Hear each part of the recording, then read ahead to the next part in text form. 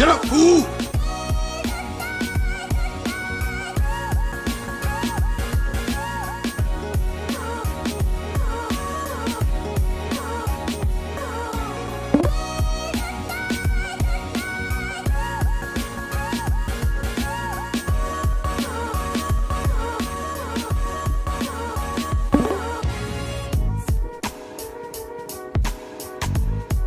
Hey Creek, how are you?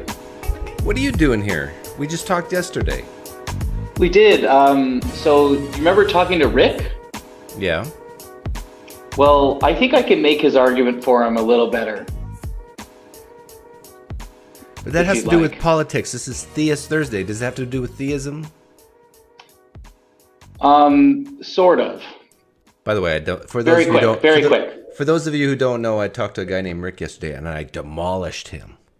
Right? You did. Yeah. Poor guy. Yeah. He was retired. So man. really quickly, really quickly. Um, so I think it's when you say cheeky things like, "Oh, the leftists aren't going to like that," or "Oh, like as if the people in your audience aren't, you know, already pretty sympathetic to your point of view. They're listening after all."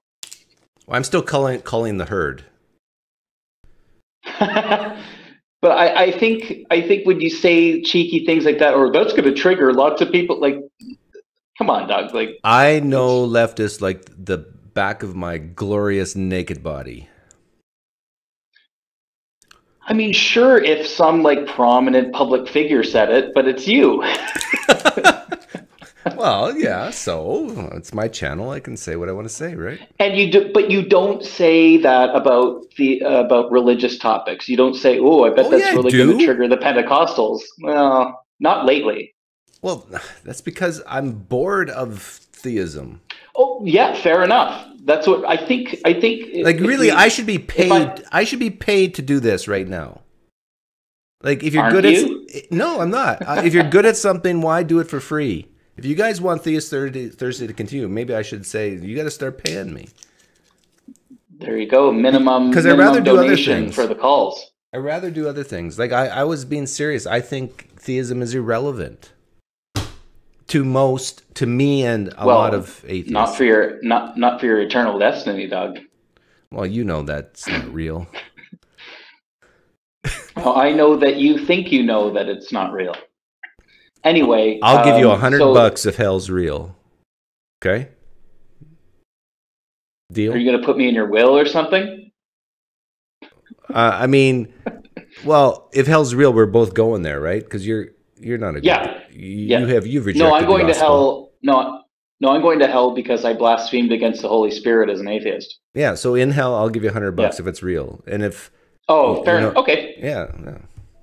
yeah, I'll. Uh, Is that okay, Satan? Satan says that that he you can have my spot. I got a real nice spot. Oh, I say the word Satan and you get scared. Is that, is that what's going on? You hide sorry, your I had to adjust my. yeah. You had to hide your face as soon as I mentioned Satan's name. Anyhow, so you're basically saying I should be less cheeky. No, I'm not saying that. I'm saying I, that I think what he is trying to to say, maybe, other if he's not a complete idiot, um, is is that you're cheeky with the politics stuff. In the, in the like, I don't know, um, in a not so subtle way, I guess. But you're not with the religious stuff. You're not going to say, "Oh, I'm really going to trigger the Muslims," or "I'm really going to trigger the Pentecostals," or "I'm really going to." You, you don't do that, and it's fine. You do you. Um, but yeah, I was just trying to make his argument for him. I'm not saying you should do anything differently. Um, you know, Yeah, I might not You're use welcome, that. Rick. I'm, I might not use that terminology trigger with um, theists, but I will say things that I know bothers them. Well, you can quote unquote trigger them because they already know that most people are going to hell. You know, they already know that most of the world disagrees with them. At least the ones who come online and call these shows, or you know, uh, Okay, fair enough. that's why I'm saying you don't have to do anything differently. I think, but I think there is kind of a, a two a, a two tiered standard that you seem to apply to the politics stuff. I and, uh, totally disagree with that. fair enough. People just say that because they don't like what I say on certain things and like other things. I mean, if if I were to guess, I'd say that was his motivation, of course. But but I think if a critique had to be made, there it is. It's not it's not a big deal. It's just an observation I've made. But again, you do you. I'm not saying do it differently. Yeah, yeah. Well, of course I'll do me because I have no other choice. I'm not going to do you. No thanks. That's against Leviticus and God. I'll do me and I'll do my wife. There we go. There That- you go. Even that didn't sound good, right? why, why don't you go find me some real Christians and bring them back here, or Muslims, or Jews, or whatever? Go go out in the Um, internets well, and But you only want to talk to presups because they're the most honest about their religion. Sure, bring me Darth Dawkins. I don't care. Well, I don't think he'll be turning up. Um, at least not showing his. fa- I don't think he'll show his face again. Yeah. He's about exactly what I thought he would look like. He's an old man. Who cares? You know, like Yeah, who who- cares how he looks? Who cares about People us? focus on. people focus on his personality instead of the the arguments, and I think he's a rock solid theologian. But what? you know, You think Darth Dawkins sure. is a rock solid theologian? oh yeah. In terms of the, Are you feeling like, okay? well, he was able to get me to, to confront the fact that as an atheist, I had no grounds for intelligibility. We've been through this.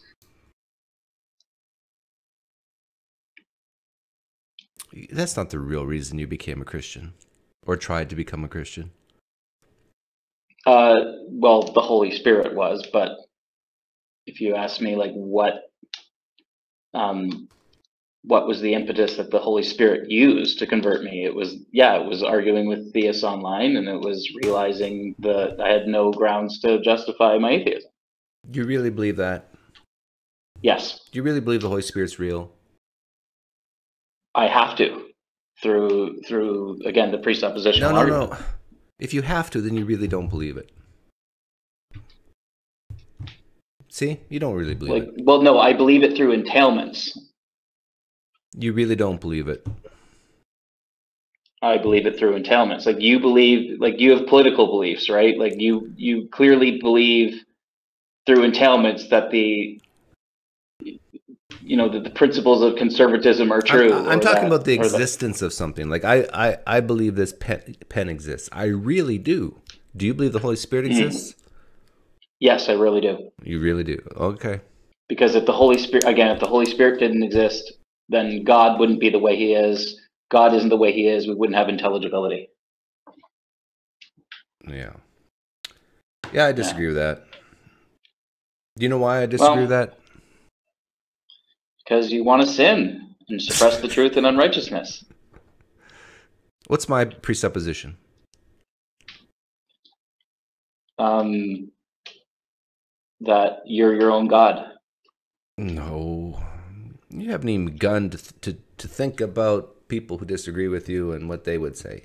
You don't know what my presuppositions are. Well, that uh, that water-soaked napkin is not going to catch on fire. That uh, that pen is going to drop when you when you when you let go of it. Well, You often say that. Watch this.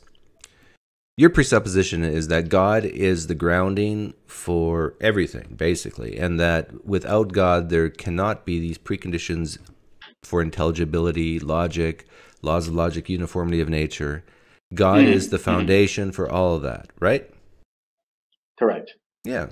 See how I could, I can state what you believe very quickly in a nice, succinct manner. You have no idea what my presuppositions are. Well, you when we have argued about this, you just kind of shrug your shoulders and say, No, uh, "My fundamental presuppositions are my I've been saying this for like for 10 years. Like what is my grounding for the preconditions for intelligibility? How, how do you think I would answer that? you have answered this, and I quote, "My fundamental presuppositions." You don't go any baser than that. No, I have, but you just haven't heard it. So you ha- can can you guess what my fundamental presuppositions are? Just guess. Um, I can only guess troll answers, so I'm, I'm not gonna I'm not gonna speculate. No, I'm. You you can only guess troll answers. You respect the presup argument, right? naturally. Yeah. You ought to know other presuppositional worldviews. Well, your pre- your presup is not God. Like not God is the I know, but grounds for eligibility. Well, yeah, it's not God, but what do, what is it? Um, uh, typically, non-presups have said the universe. Um, There you uh, go. So, reality. what is the the preconditions for intelligibility? The presupposition that the universe exists and has the properties it has, including that that there's such thing as chemical evolution and biological evolution that would create uh, highly Oh, there's no intelligent evolution. That can create uh, intelligent animals like ourselves that can think and reason. Even though it's determined, I still say it's we're thinking and we're reasoning. Yeah, and what instantiates the universe? Uh, it is a brute fact. Have you ever heard the uh, the old adage, "A brute fact is a mute fact"? What substantiates God? He's uh, self uh, substantiating, self The universe is self uh, substantiating. No, universe is a contingent thing. It had a beginning. Nope. The universe say is there's a the universe. bang. The cosmos, as I'm defining it, I'm not defining the universe meaning our reality only. I'm talking about all material reality, even what's prior to the Big Bang, is a necessary entity. It's a not contingent thing in its entirety. There's things within it that are contingent. So Well, whatever you go, so whatever you say that you need from this God, I can say, nah, nah, nah, nah, nah, I got it too. In fact, I'd say you're borrowing from my worldview. You are borrowing from my worldview. No, you. No, you. Because we share the pre, we share the properly basic belief that the that there's this material reality around us. Yes. Thanks be to God. Thanks be to the universe. So my Well, I presupposition, mean, my presuppositions revealed- are God- more properly basic than yours because there's No, so they're not because oh yes, they are. my God literally revealed how He did it, when He did it, I'll arm wrestle what's you going to happen it. if you don't believe it. I'll arm wrestle I- and I'll win the arm wrestle, and then therefore you- you'll have to admit, you, well, you did it. See, in in my worldview, the universe exists. It's a brute, uh, non-contingent fact, and um, and then the fact that we evolved. Uh, granted, it's low probability. I call it a miracle that we evolved to be intelligent and reason like this, and us intelligent beings have reasoned that there must be this God out there who created everything because of IC design and all these other things. Anyhow, I'll let you go because now I got a real caller.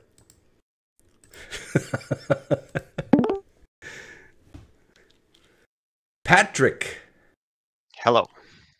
Hello. What what is the SZ? Is that your? Oh, I guess I can't ask that. Ah, it's okay. Uh, do you want me to ask you questions? Oh, I don't know. Um, sure, but What's the uh, capital of South Dakota? Uh, it's not Sioux Falls. Nope. It is. If you answer correctly, you can stay. If you don't answer correctly, you have to go.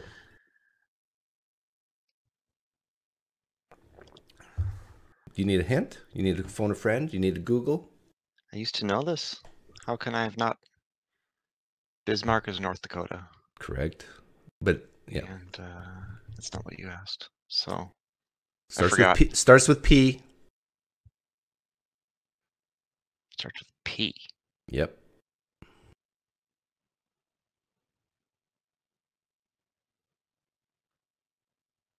Under pressure, can't get it. P. p-. P. Pierre. Yes. oh, you were watching the live stream chat. okay, are you a Christian, Muslim, Jew, Hindu, pantheist? No, agnostic theist. Agnostic theist. Okay. But In other- pretty. pretty In other words, you have no backbone. Um, no, I think I, I think I do have a backbone. I think I am uh, still convinced by some of the philosophical arguments, but they don't have much consequence because what's the difference between being an atheist and being a theist about a god you know nothing about? Good question. What is the difference? Nothing. I don't. I haven't seen much of a difference. Yeah, I'm trying to. Well, I've been trying. You, I guess maybe the difference is you get uh, a little comfort from some um, faux explanations. So if you're Yeah, a agnostic theist and someone like the previous caller says, "Where do you get the preconditions for intelligibility?" You can say God, right? I and I can't say that because I don't believe God exists. Correct. Yeah. Fair enough. Yes. I often wonder if if um when I get in discussions about whether there is such a thing as objective morality, if that's I haven't worked through that one all, all yet. I haven't read Harris. There's a lot I need to read on on morality. Would you call yourself an agnostic deist? Not really, because I would have to think if God exists, then he might get involved in the universe. But again, you have no idea how much or to what extent. Because I I would say that from the short conversation, deist be a like deist is a subset of theism, but it's more accurate of what you are. Because deist would say, yeah, non-personal God. Yeah, I thought about that, but what if it's a personal God? I don't know that it isn't. I mean, I, I don't imagine that it is, but If God was a personal God, if God existed and was personal, which religion you think is correct in the world? none of them, I would guess. Good answer. But, you know, so like you, I was a Christian for a long time, and I, I thought at the time that that was the best explanation. But um, since I don't believe that anymore, like none of the other alternatives seem any better. In fact, they all seem worse. Which you said you're a theist because of philosophical arguments. Which is your go-to? Which is your favorite? Well, I do I do appreciate the the cosmological argument as well as fine tuning.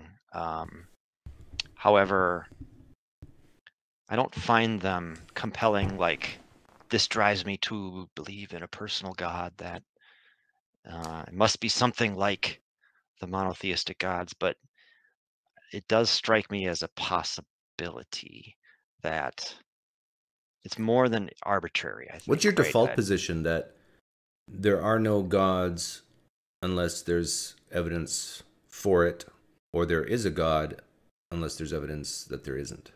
What's your default? Yeah, I've I've thought about that. That's a really good question. Um, I would say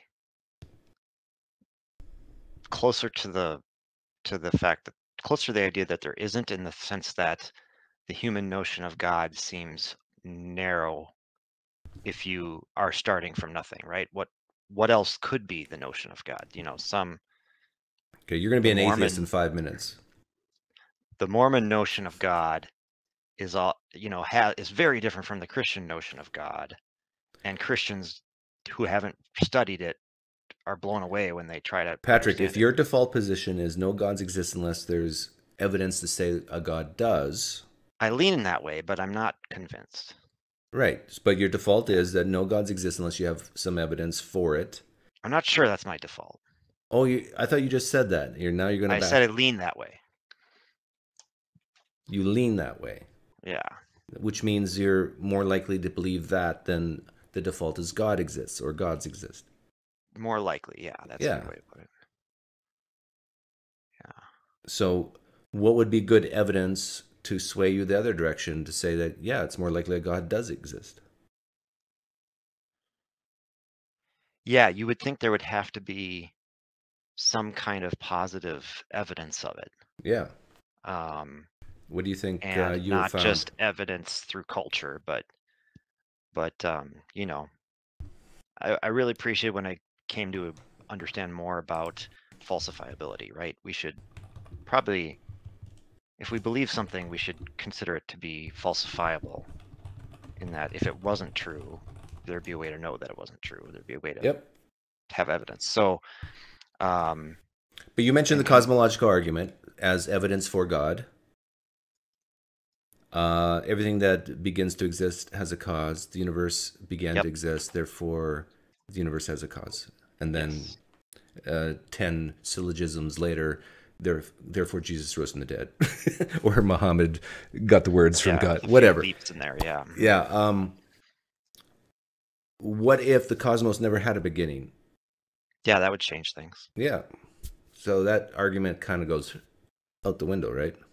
No, I, ki- I tend to think the cosmos had a beginning, but I guess I don't know Based on what? for sure. Um, well, time had a beginning. Our time had a beginning, yeah. Yeah. And so outside of our time and our space, we don't really know what it, what could exist. At least I don't. Right.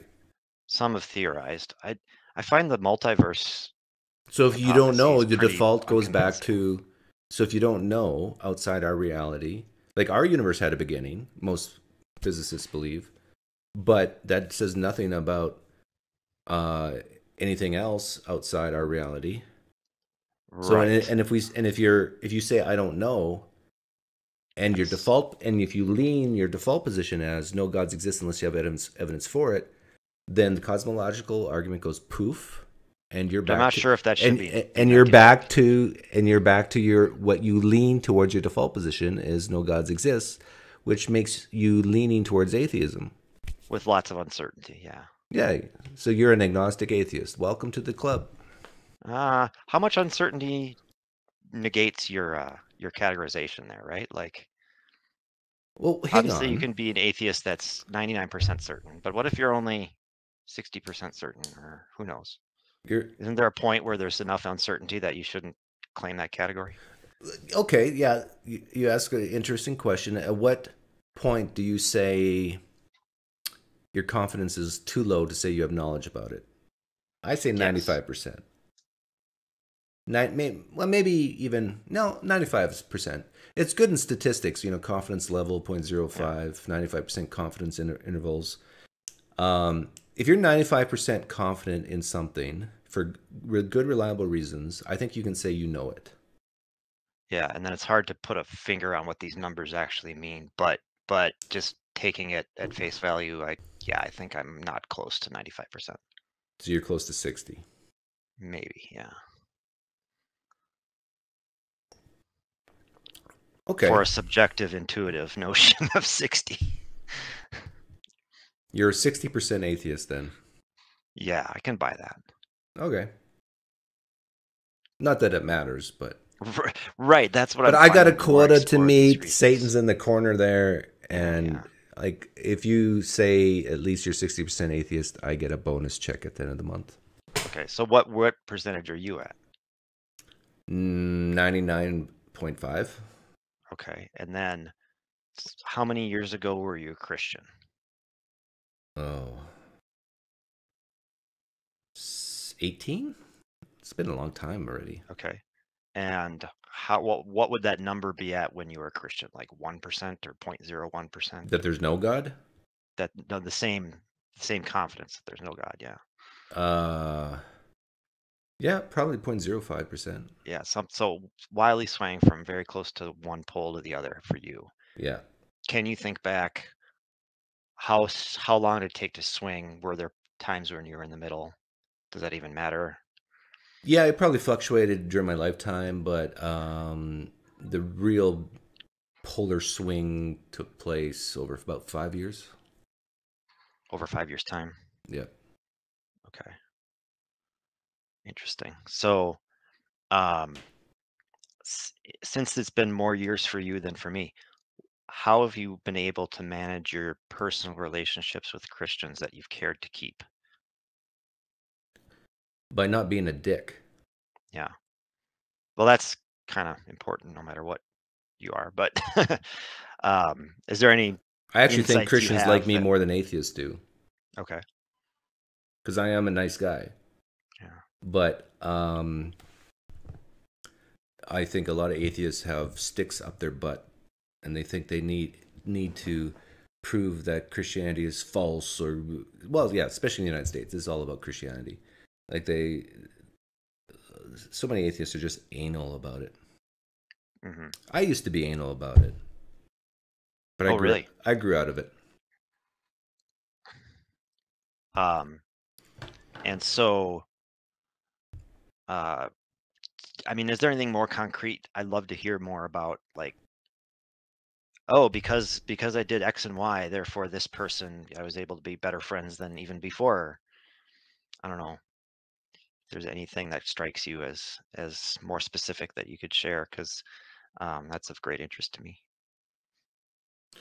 Uh, if you let people know that you're not trying to evangelize, like I, I was joking with you before about Satan and you know, I'm course. make you an atheist. But if you let people know that you have no desire to change them, hmm uh, in most cases, of course, there's always exceptions. Like if you're a serial killer because you think God told you to kill people, then yeah, I want to change you. But most of the time, you no, you stay the way you you are. I say that to my wife. Um, I think Christians then are at ease. That oh, here's an atheist who is not proselytizing. Okay, so make it explicit that you're not going to try to deconvert them. Okay. Yeah, I and again, I used to be different, but now, um, yeah, now I don't. If you want to stay a Christian, stay a Christian. My my biggest thing is that if you're a Christian in the United States who's struggling with cognitive dissonance and fear, and just every day you wake up and you don't feel good because you just or you feel like you're forcing yourself to believe this stuff. I'm here to help. I'm here to say it's okay to let it go. There's probably no hell uh, wh- when you die, you won't know anything. I mean, that'll be it. You can still have meaning and purpose in your life without God. You can still be a moral person. You can even still ground your morals in different concepts other than God. You'll be fine. So I'm here to help those people who are struggling. Yeah, in those conversations, it seems like it, I can get that point across pretty well, or at least something like it, and it goes well. But once we get down to like the actual disagreement, point of disagreement, uh, it's almost like I see the point where the conversation turns turns from here we're trying to figure this out together. We're trying to maybe debate a little, but mostly struggle together, and then it turns and like, except yep, that's my identity. I can't go against it. Right? Like Yeah. like oh but but sin's in the world we have to deal with sin and i can't accept anything other than there's got to be a way to deal with sin might be one go-to point and to me i hear yep my identity is i'm a christian and i can't imagine life still living in my sins so therefore i need jesus so therefore i'm a christian so therefore you know my my whole identity is here and you can't break through that no matter what other things we agree on strongly Yep. And my advice is just let them have Yeah. their identity in Christ if they want it. What's the downside? The downside is that I see that that identity growing to encompass more and more things. I'm a Christian. Oh, I'm a Republican too. Oh, I- I used to think that this and too. Against that, and And this is part of the reason why I'm more interested in politics because that's when the rubber hits the road. But you can have Christians, for example, all over the political map. oh yeah, yeah. And it's not. It could be any. It could be. It could be the the liberal Christian that feels the same way. And like, Like you can have you Christians who want- say gay marriage is a sin and you're going to hell if you do it, and you got other Christians saying, "Oh, I love the gays. Give me a hug and a kiss." I mean, yeah, not loving them would be an aff- affront to my identity. yeah. Like, did you see the so- Super Bowl commercial about washing of, of feet? Yes. Like that commercial was very polarizing in the evangelical Christian world. hmm because and it was a very clever commercial because it was definitely my confidence is sky high that it was put together by progressive Christians um, to promote inc- inclusivity and tolerance and all these great buzzwords, uh, and they use like fundamentalist type Christianity um, word pictures to get that point across of Jesus washing feet. And so it's fun Yeah, to, fun to yeah, watch the he- Christians fight about it. Did you look into He Gets Us, that the group that makes those ads? Did I what? Did you look into He Gets Us, the group that makes those ads? No, no, no. I didn't. I'm, but I'm still confident it was put together by progressive Christians. Am I wrong? I think they're conservative Christians, but who are more focused on Christianity more than the politics of it. I don't Um, believe it, but I'll. if So you- what- one of their well, some of their donors are secret, but one of them is the estate of the guy that uh, ran Hobby Lobby. Right, a big, big portion of his estate went to fund He Gets Us. Yeah, I, I seem to remember reading something about Hobby Lobby, uh, the CEO or the family, thinking that they were very conservative, and then I don't know a year ago reading something about them and thinking, oh, maybe they're not. So Yeah, not politically conservative, but not necessarily politically liberal either. okay, right down so the middle. anyway, yeah, I don't know if they're down the middle politically or just apolitical, or like they want to get away from, they want to make it non-political. Anyway, I'm getting into speculation. We don't need to do that too much, but um, So what's the real but- reason you called in today? Is it just to well, just just because I'm, just the chat? yeah, and I'm interested. I'm just interested in in you know continuing to live my life with other theists. I should say with with theists, um, in a constructive way. Would you have bad also- relationships now? No, no, but I did when I stopped being a Christian, I did lose touch with a lot of people that I thought were friends. That's normal though, Yeah, I guess so. because when you Probably have that way with any organization. when you have worldviews that diverge, I mean, it's just normal that you have less in common on a lot of things, and like you don't go to church groups anymore, right? hmm right. So Yeah. it makes me think with my friends, I need to actually be friends, not just co-interested in one thing that we share. You know, I want to be a genuine friend to someone. Um, How many close friends do you have right now? oh, not a lot, you know. What was the one study? You can you can know a hundred people, you can be friends with ten, authentically speaking, only. trying to remember who put out that sociology study. Because I'm happy with one, two, or three. Yeah. I don't need a bunch of friends. Usually they're more trouble than they're worth. Can you help me move? I like having helping people move. well, you're a nicer guy than me. I, at my age, I mean, you throw out your back. Uh, my age. At my age, that I'm trying to avoid You're 42?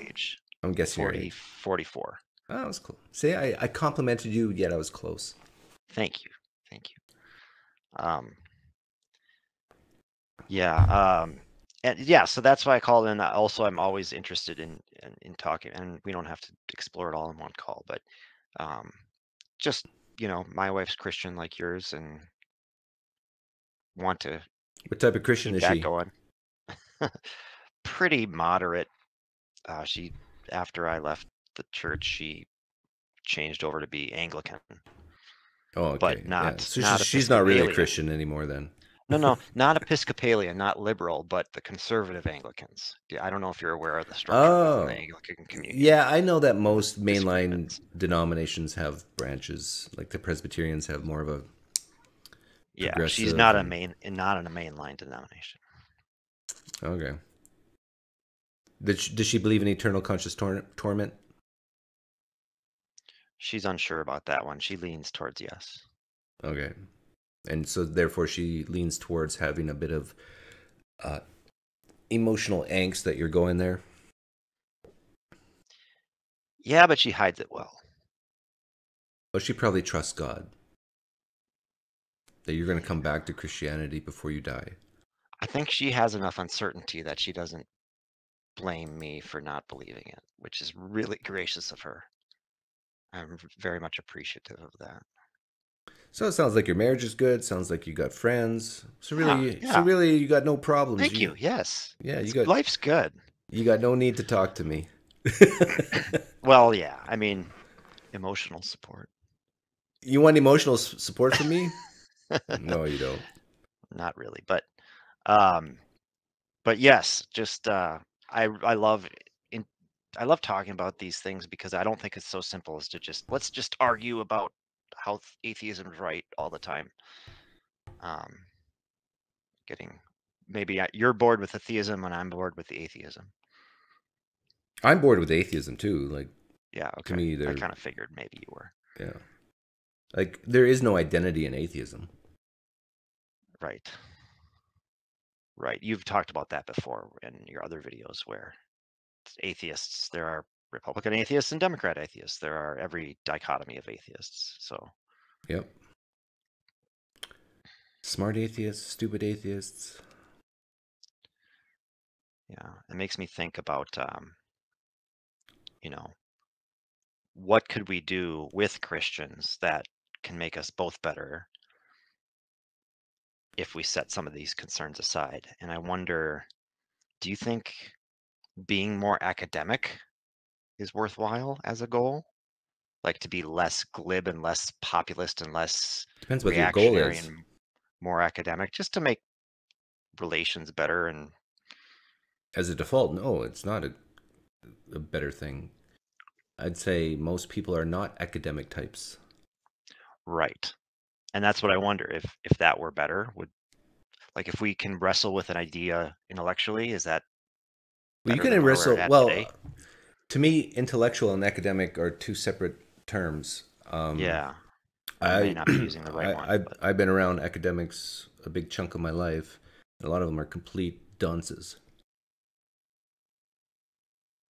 and and let me explore that a little bit, little bit because they they wrestle with intellectual issues, but they do it in a way that's inauthentic or No, um, they would be dunces yet successful academically.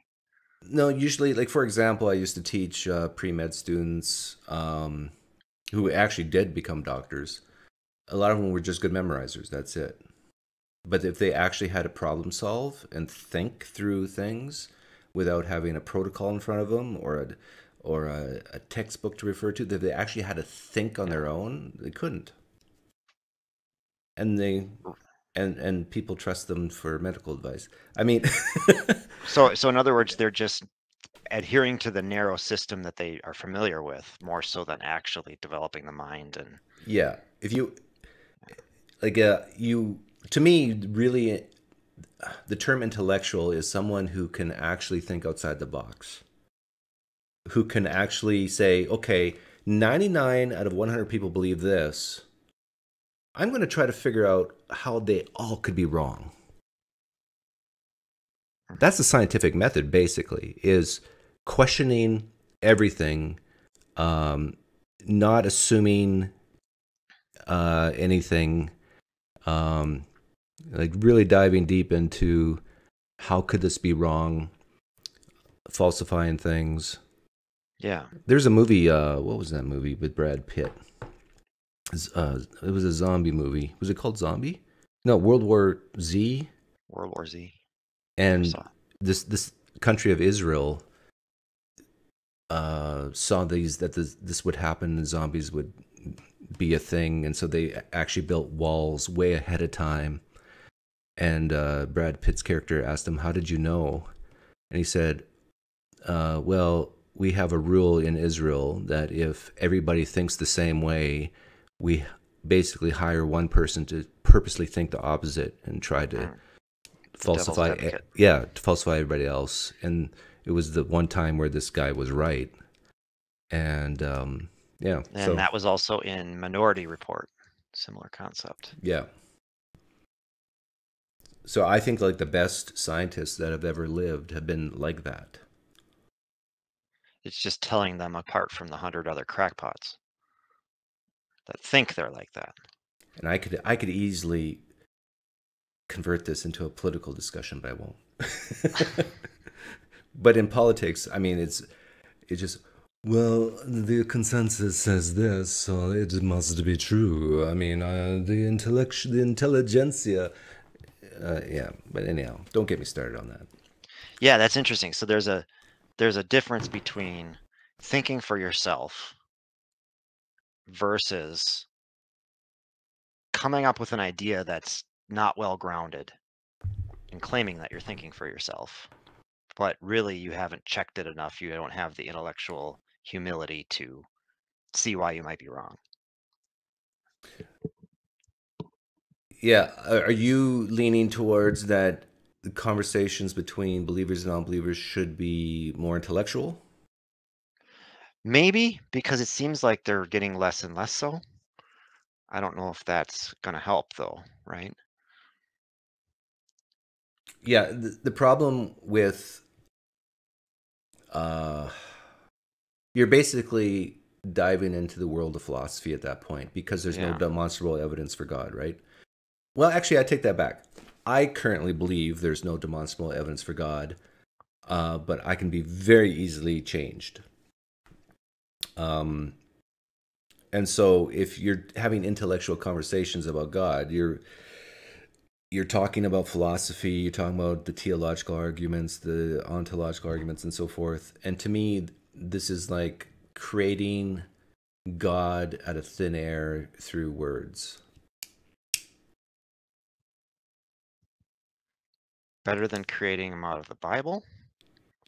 Maybe? Um,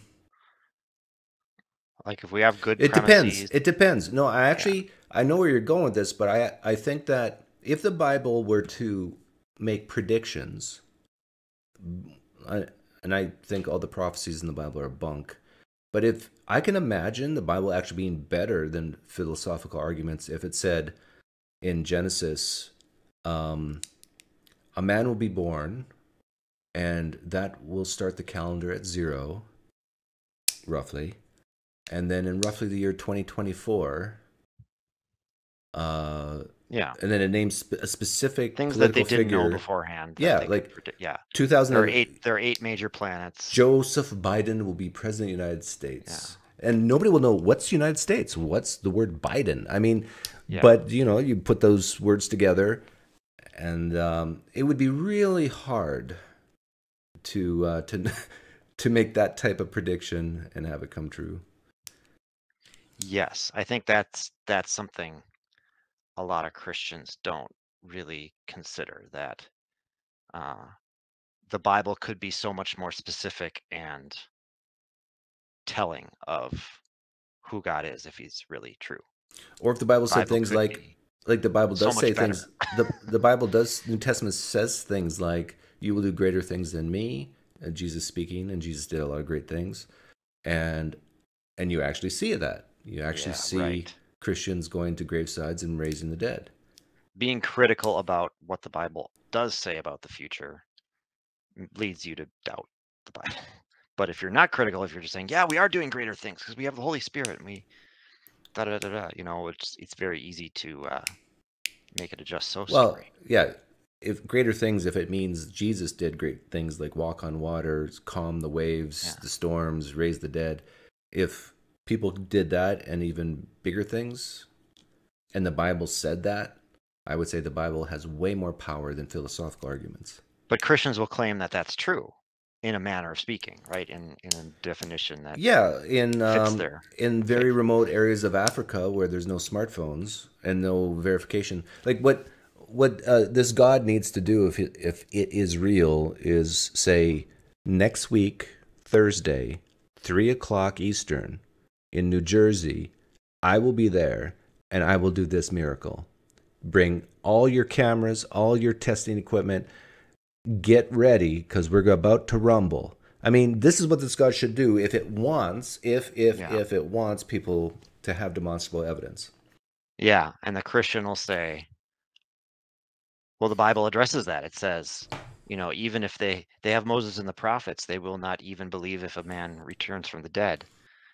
Um, Yeah, and then the Gospel of John uses the, not- another Lazarus story to say that's not Yeah. true because even the hard-hearted Jews believed uh, in Jesus after he ra- rose Lazarus from the dead. right, right. So, um, but I agree with you in that if we're if we set that aside and we think about what how could we actually prove a true reli- religion to be true, with these ideas come to mind, and yet people in those religions aren't interested in those ideas. Even even no, they can- are. They are. But well, they're apologists, yes, but but in the end, it comes down to the kind of proof that a skeptic wants is not available. right. But I actually think deep down they want the same evidence I do. Yeah, that's true. They just don't have enough faith to believe it will happen. Which is a great segue for my Pentecostal friend to jump in now.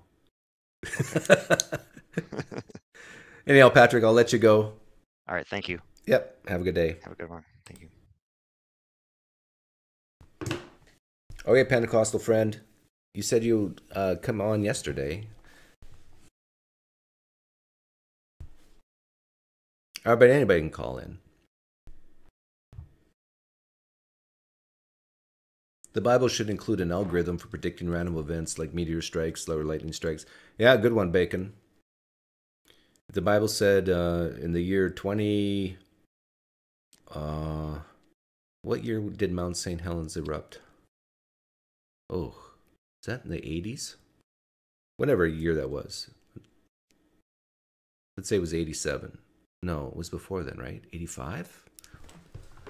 If the Bible predicted that, that'd be cool. When did Mount St. Helens erupt? Okay, I'm going to guess 85.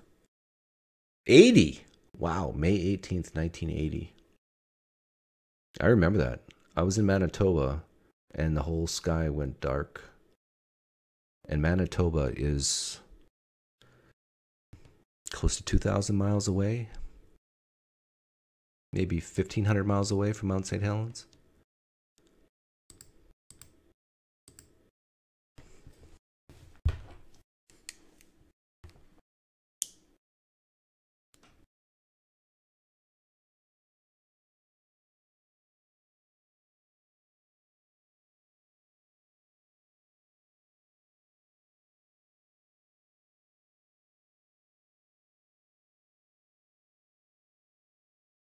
What's that? Uh, where, where's that Pentecostal guy? Did he leave?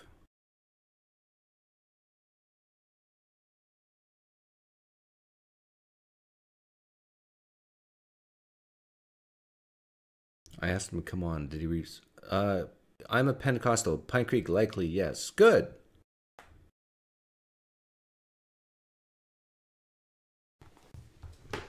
Let me get something ready. I'll use the restroom, and uh, when I'm done with the restroom, you can be here. But let me get a video ready to watch. All my shorts are political, so I can't play that. Let's see here.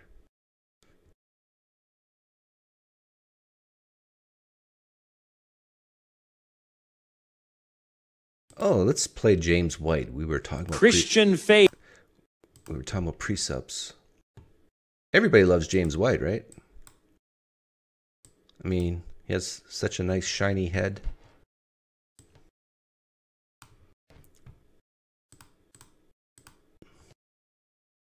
I have no idea what this video is about. I made it um, one month ago and I don't remember. uh, okay, I'll be back in uh, two minutes, maybe three. Christian faith shared as a common belief.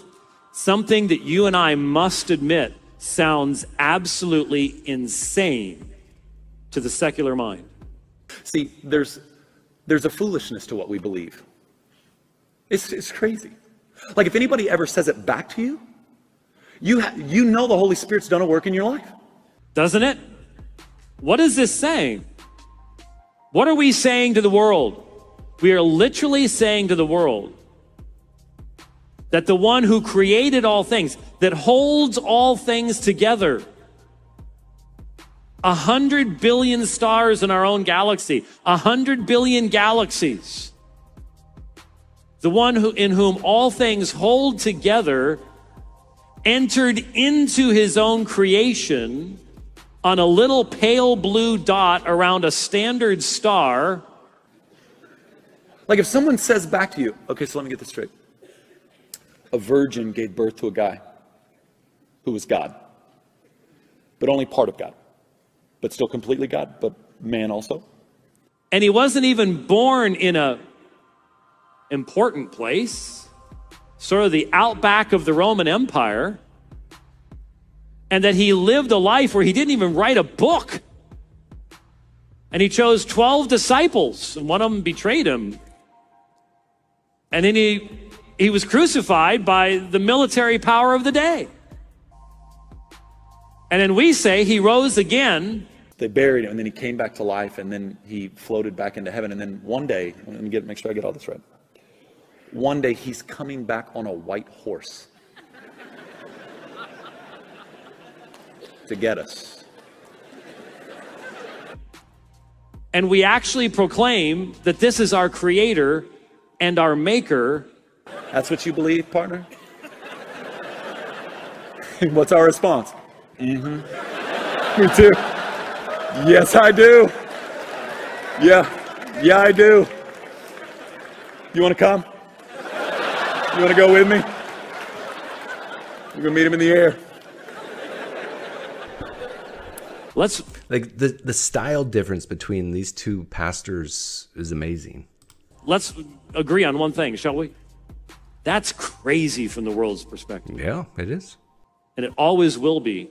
Yep. As Paul said, the preaching of the cross is to them that are perishing foolishness. Yeah, and so he's quoting scripture, but he's I would say actually even proud to say that. He's proud to be viewed as foolish from the world's point of view.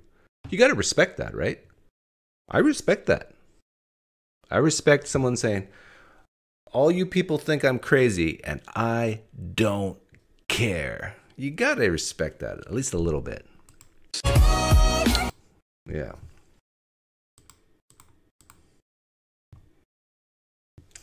Thank you. Yeah, the dog father.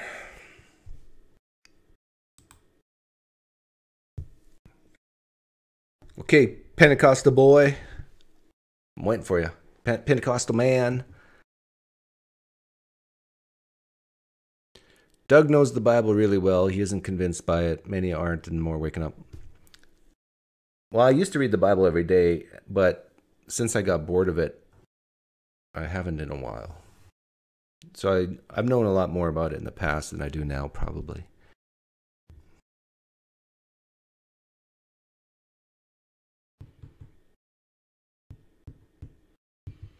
But I know the important stuff.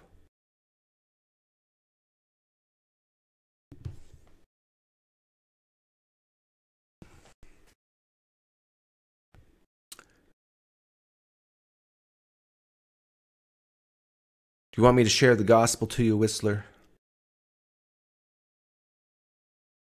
okay,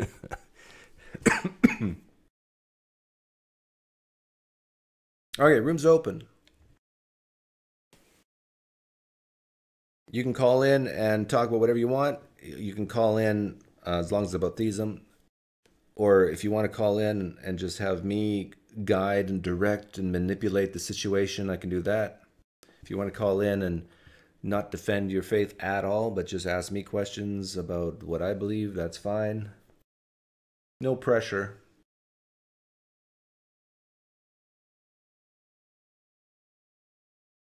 Was I a good Christian back in the day? Of course I was a good Christian. I was a virgin before I got married.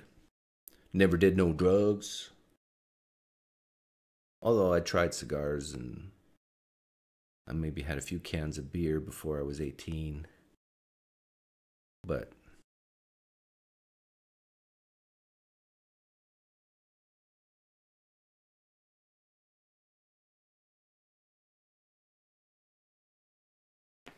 But I was a good boy, good stable young Mennonite boy with a high degree of self-control.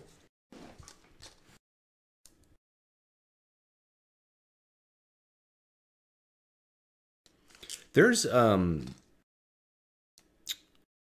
debate between me and my mother about whether I'm circumcised. she goes, "We didn't circumcise you, son." I said, "I'm circumcised." "No, you're not." "No, I am." But I wasn't about to show her.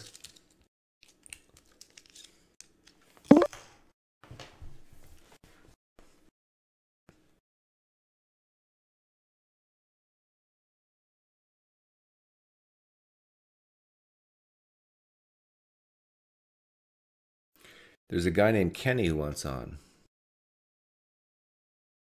Is Kenny the the Pentecostal, or is Kenny the guy I banned for being a false prophet? False prophet. Yeah. And there he goes.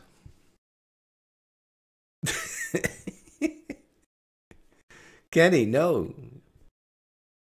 I'm a man of my word.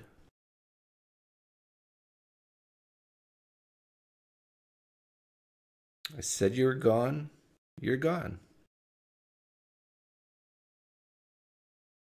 Oh, let me trigger uh, the Christians, like Kenny. um, I was a true believer. I really experienced the Holy Spirit. And then I rejected it, realizing that it was all make believe. There, now Kenny's triggered.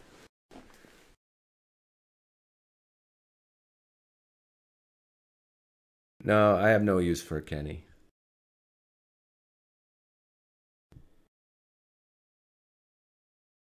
Sorry.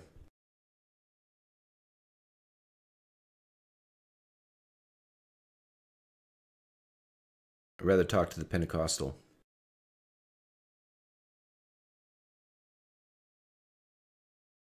The preacher guy was here before? To be honest, I'd rather talk to somebody I've never talked to before.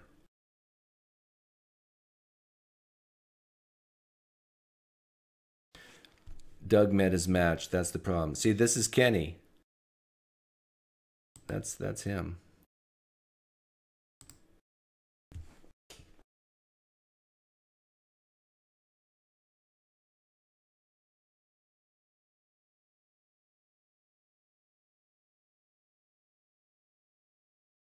So if you've never called in but you kind of wanted to, here's your chance. Room's open. And I'm totally comfortable in who I am, and I'm totally comfortable with having dead air. Doesn't make a dent to my psyche. I'll put up the comments. Keep you guys in line.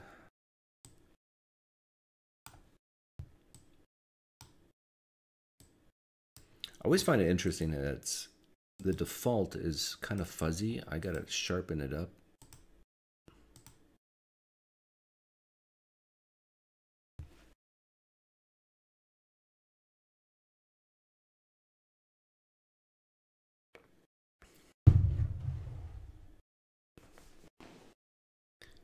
If you have called in before and your name is, isn't Kenny, you can call in. I'm just saying I prefer to talk to new people.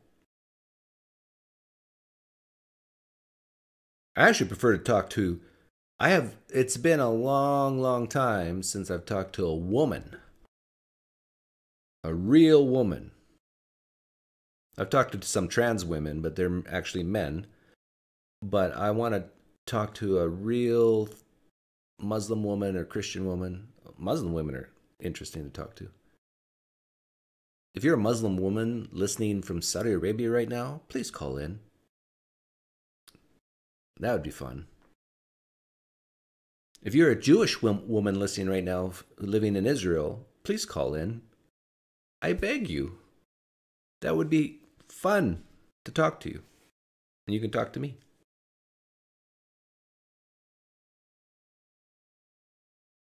If you are a Hindu woman with the dot right here, please call in. I like dots.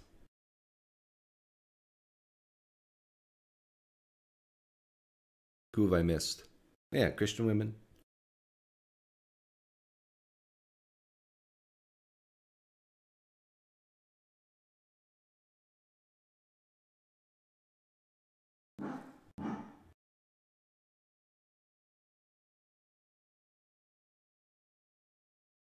Oh, I gotta go. Not top chat, but live chat. Not everyone in Israel is a Jew. Well, they should be. You live in Israel and you're not a Jew, you're taking up space for real Jews. So there. I, I tell you, the Jews love me. You hey, that that atheist gets me. Yeah.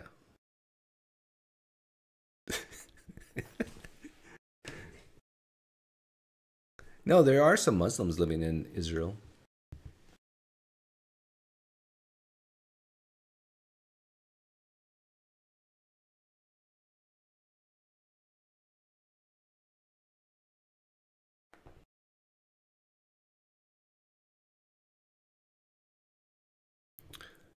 I didn't scare most theists away. Um, problem is, I don't have emotional meltdowns like Matt Dillahunty, and that's what people tune in to see. Plus, I'll say things like trans women are not real women, and so then that gets two thirds of atheists away. But that's okay.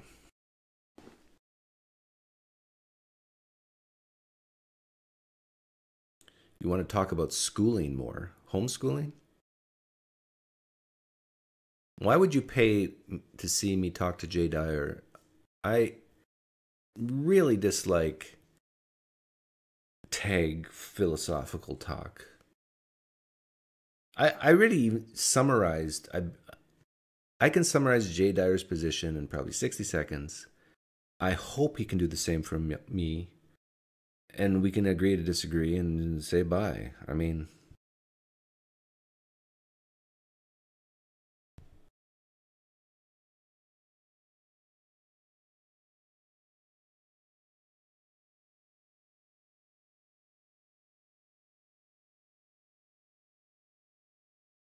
He did change his hairstyle, Jay Dyer. I like it. He looks more like um, like a skateboarder now. He's like cool with the kids now. Good for you, Jay.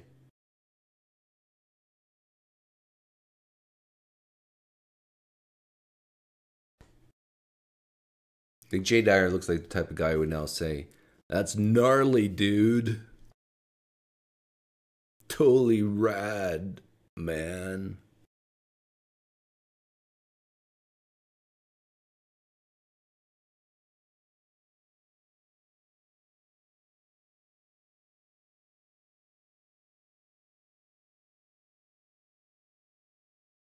Not going to bite? Bite on what? Just say they're men? What, trans women? Yeah, they are men.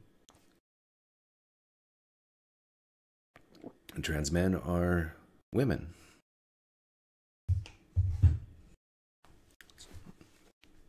Facts. What? Theism, Theist Thursday. Don't get me started on politics. Okay, uh, Doug, did you say okay if a Christian woman comes on? Yeah, but you wanted to come on too. So, what you want your your wife to come with you? Hop in.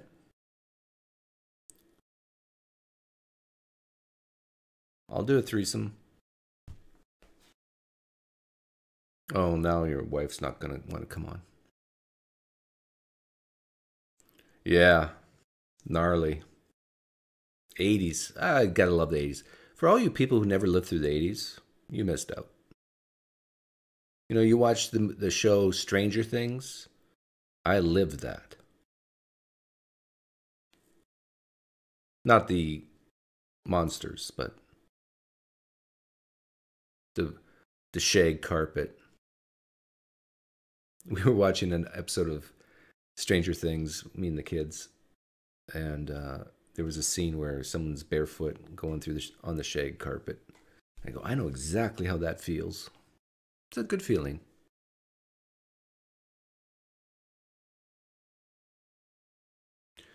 My question is if pregnancy wasn't an issue, should incest be considered bad? There's other issues like um, other pain and suffering issues but if you're saying all consequences of incest are all negative consequences of incest is bad, is incest bad? I I lean consequentialist, so I'd say no. There's still the problem of we evolved. Um, so you'd almost have to be a freak of nature to not feel bad doing incest. Like Christians would call that your conscience uh, that God put on your heart. I would say we evolved to like have this icky factor of having sex with your sister.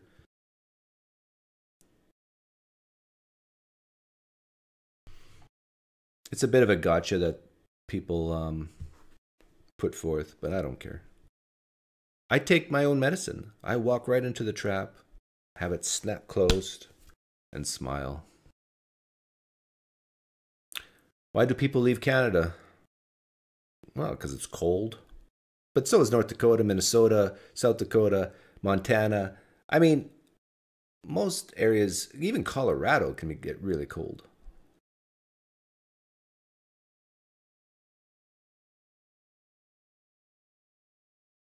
Let's go, Christian women. Hop in.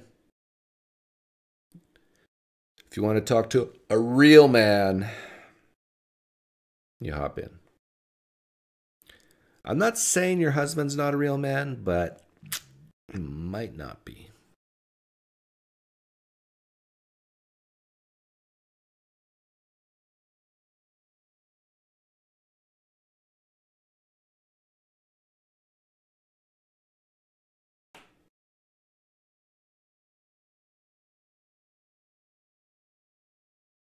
Why is the irreducible complexity argument untenable?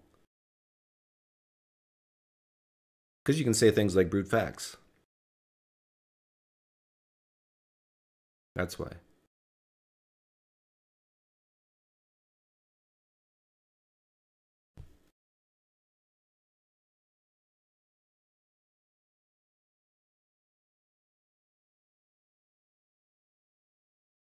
Well, I feel sorry, sorry for Christian men who are married to Christian women because they got to be almost like Jesus for their wives to really love them. I mean, dear, why can't you be more Christ like?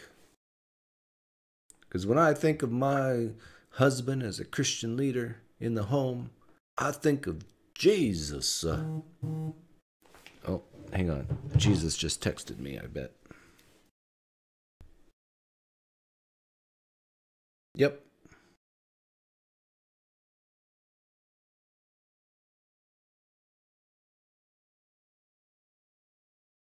Jesus says, You're doing a good job. Love your show.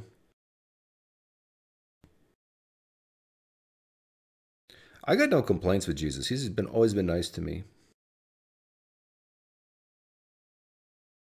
He's always always compliments me in my show.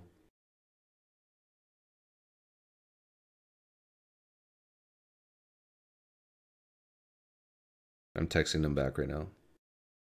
Thank you, Jesus, for your compliments.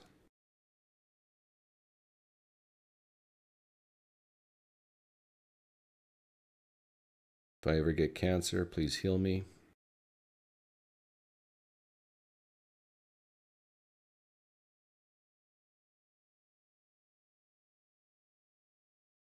Say hi to Lucifer. There we go.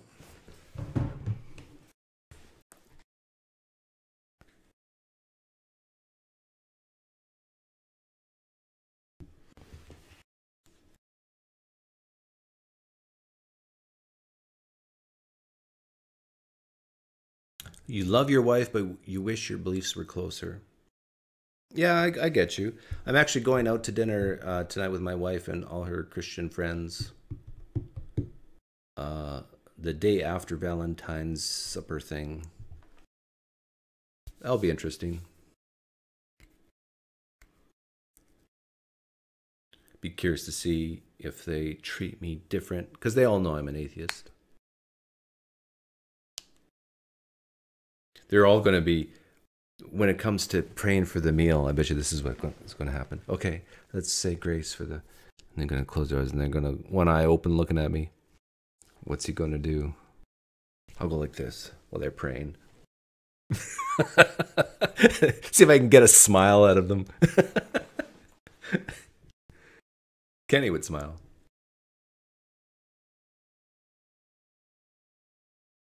Yeah, live stream it. No.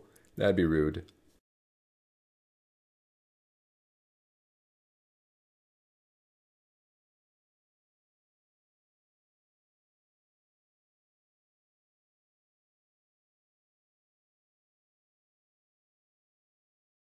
There's huge advantages to dating a believer, a Christian, well, even a Muslim, Jew, rather than an atheist.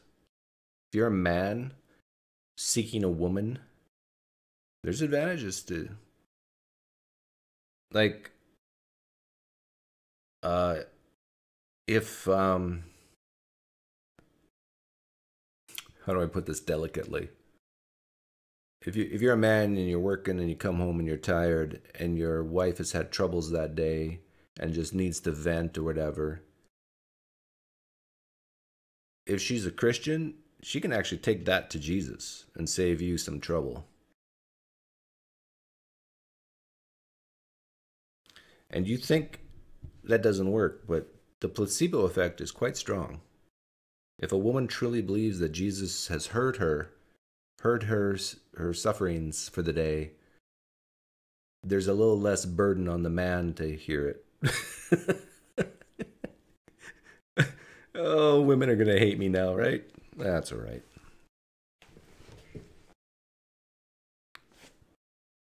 Would I ever visit Israel? Not right now, but maybe someday. And yes, they'll be overly nice to me. I tell you, it's great to be an atheist around Christians, Muslims, Jews. Well, Jews don't care about atheists, atheists as much because what a third of them are atheists. It's more of a culture.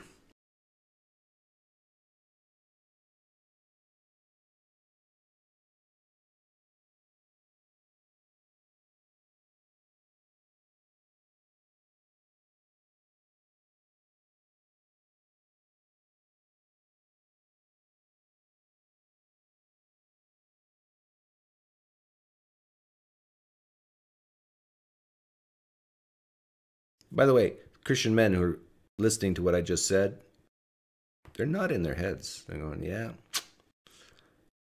Thank you, Jesus, that my wife goes to him first, not me. Because some days you just want to sit on the couch and watch the game. uh.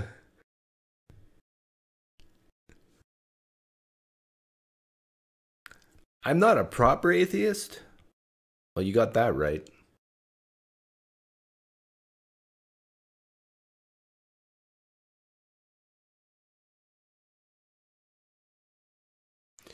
Doug, any future apologist you're planning to interview? No. Me and Reed, we're thinking of going to the University of Arizona campus and doing more in real life videos. But then I got sick.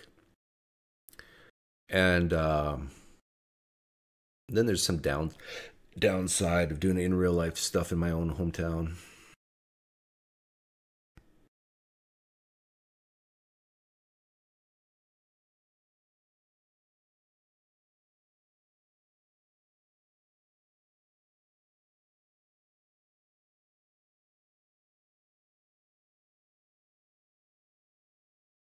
But I do think in real life interviews, conversations are better than this.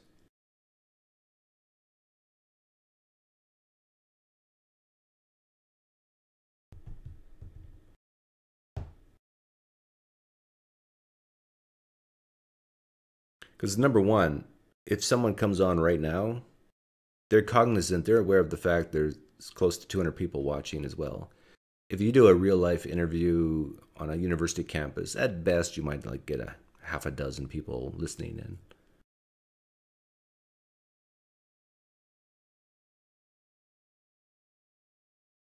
Ah, good for you, Thumb Rabbit Rabbit.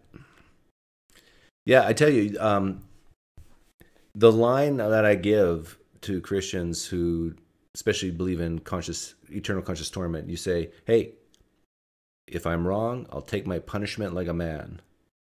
Yeah, they don't know what to do with that. Like they kind of respect you for that. Like, "Hey, it's my choice, and I'll take my punishment like a man." But in another sense, they don't like that answer because they go, "Well, then there's no hope." I mean, I can't even scare him to into the kingdom. Yeah, that Frank Turek embrace was so touching. I'll bring it up. I mean, it was so genuine.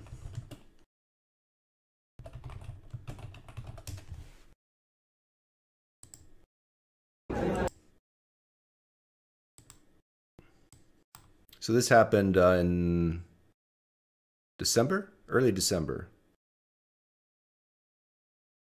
Sure, yeah, absolutely. One, two, three. But, like, I was like, oh, that's pretty cool. Nice. Oh. You ready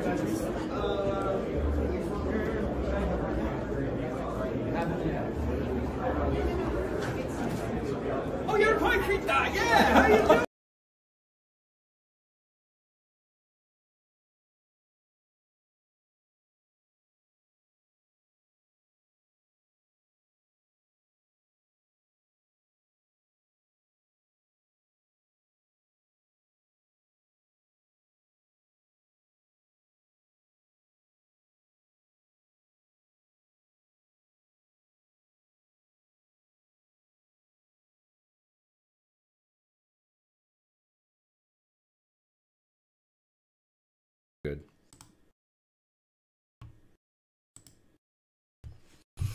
Just shows you can be like real people and still like people you disagree with.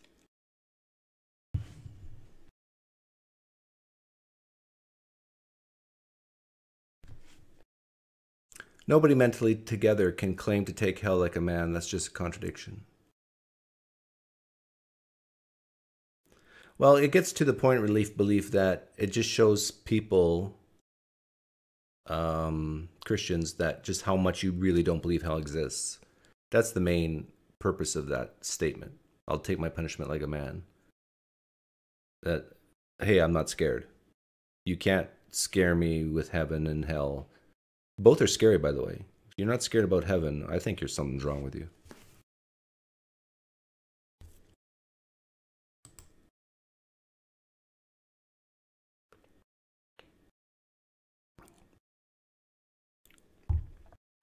Yeah, Celine Dion's a Canadian national treasure. Like me and Celine are like this, son.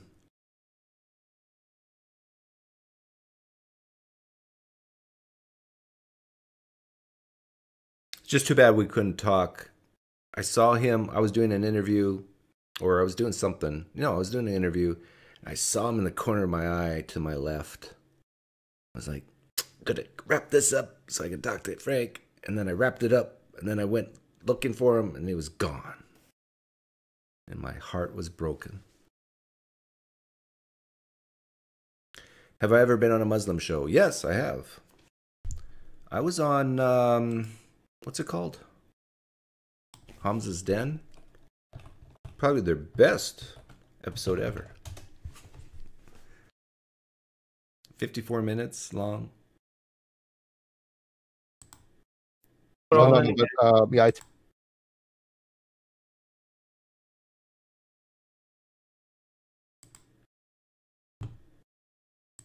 I I would never ever become a Muslim. Would you rather me be an atheist or a Christian? Ooh.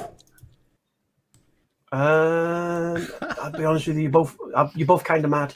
Um, You can only I choose one. um, I don't remember this. That's a great opening question. oh, um, oh, a Christian could kind of get the idea of God and could move on to Islam. I don't know. I, I, I'm I wouldn't know. But an atheist says there is no God, and that's halfway through their creed, except for Allah and Muhammad as prophet. Yeah. Uh, I, I treat you all the same. Because To like, be honest least, with you, at least I'm not an at least I'm not an idolater, right? yeah, you're all the same. you're all the same as well. No, no. Uh, there's no way a Muslim can say that an atheist, a true atheist, is an idolater. He's not, because in order to be an idolater, you have to worship a God other than Allah. And I'm not doing that. Now, he could say I'm worshiping myself, but, you know, I don't view myself as a God. Um, although, you know, some people do. I mean, who might argue with them if they view me as maybe not a God, but God like? Like, I can, you know, I can understand that. But I don't, I, I think an, um, a true Muslim to, has to say that they like atheists better than Christians. Because Christians who believe, Trinitarian Christians at least, who believe that Jesus is God, they're the worst human on the planet. They're saying a man is a god a deity, the creator of the universe, and you worship this man named Jesus, who is just a man. Well, not just a man. He was a prophet, a good prophet, but but he's not God for goodness sakes. I mean, a Muslim, I don't think it's a contest. I think Christians are way worse than atheists from the Muslim point of view. Maybe not Unitarian Christians. I think maybe they get slightly a, some type of pass, but As I'm concerned, you're all the same, mate. Um, that that as far yeah, because if you're a Christian, you you reject Muhammad, um, you you um, make God into something that I don't believe he is. Um, Yeah. But at the same time, you would have an affinity, the idea, the concepts of God, angels, and the supernatural and miracles. An atheist, you yeah, but so what? Like, what good is it to gain theism and the supernatural and lose your soul? Could well be in a, a, a, a blank page that I could deal with because atheism doesn't stand up to scrutiny. It's such a negative position. I don't know. I don't know. I don't know. Maybe science in the future will know. I don't know. I don't know. And you can see what he values. Hamza values certainty. Uh, he values having to know the answer to every question. But then again, I'm sure Hamza would very easily admit that there's ma- many things he doesn't know about Allah. Like that there's mysteries in the Quran. and, and for me, uh, here's how I'll p- epitomize it for you, Pine Creek. If you're a Christian, you put your mind in a box. If you're an atheist, you put your soul in a box. That's it.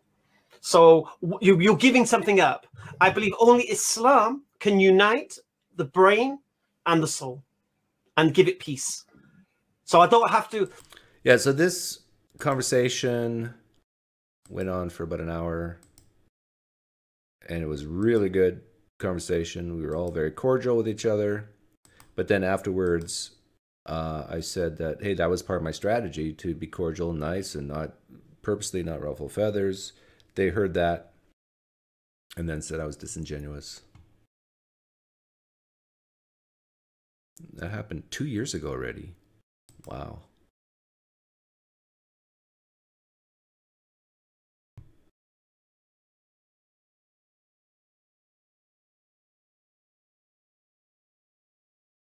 Um, yes, I don't know is when it comes to the God existing question is agnostic, but I say I know there is no God. I know that Allah is not real. I know that Jesus is not God. I'll make that claim.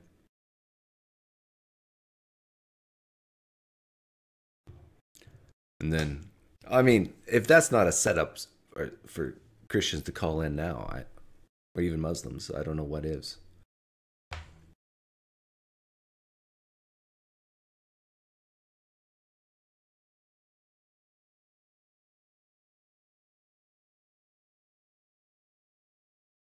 But it's called, um, if you guys want to watch it later, it's called Pine Creek Enters the Arena. Pine Creek Enters the Arena.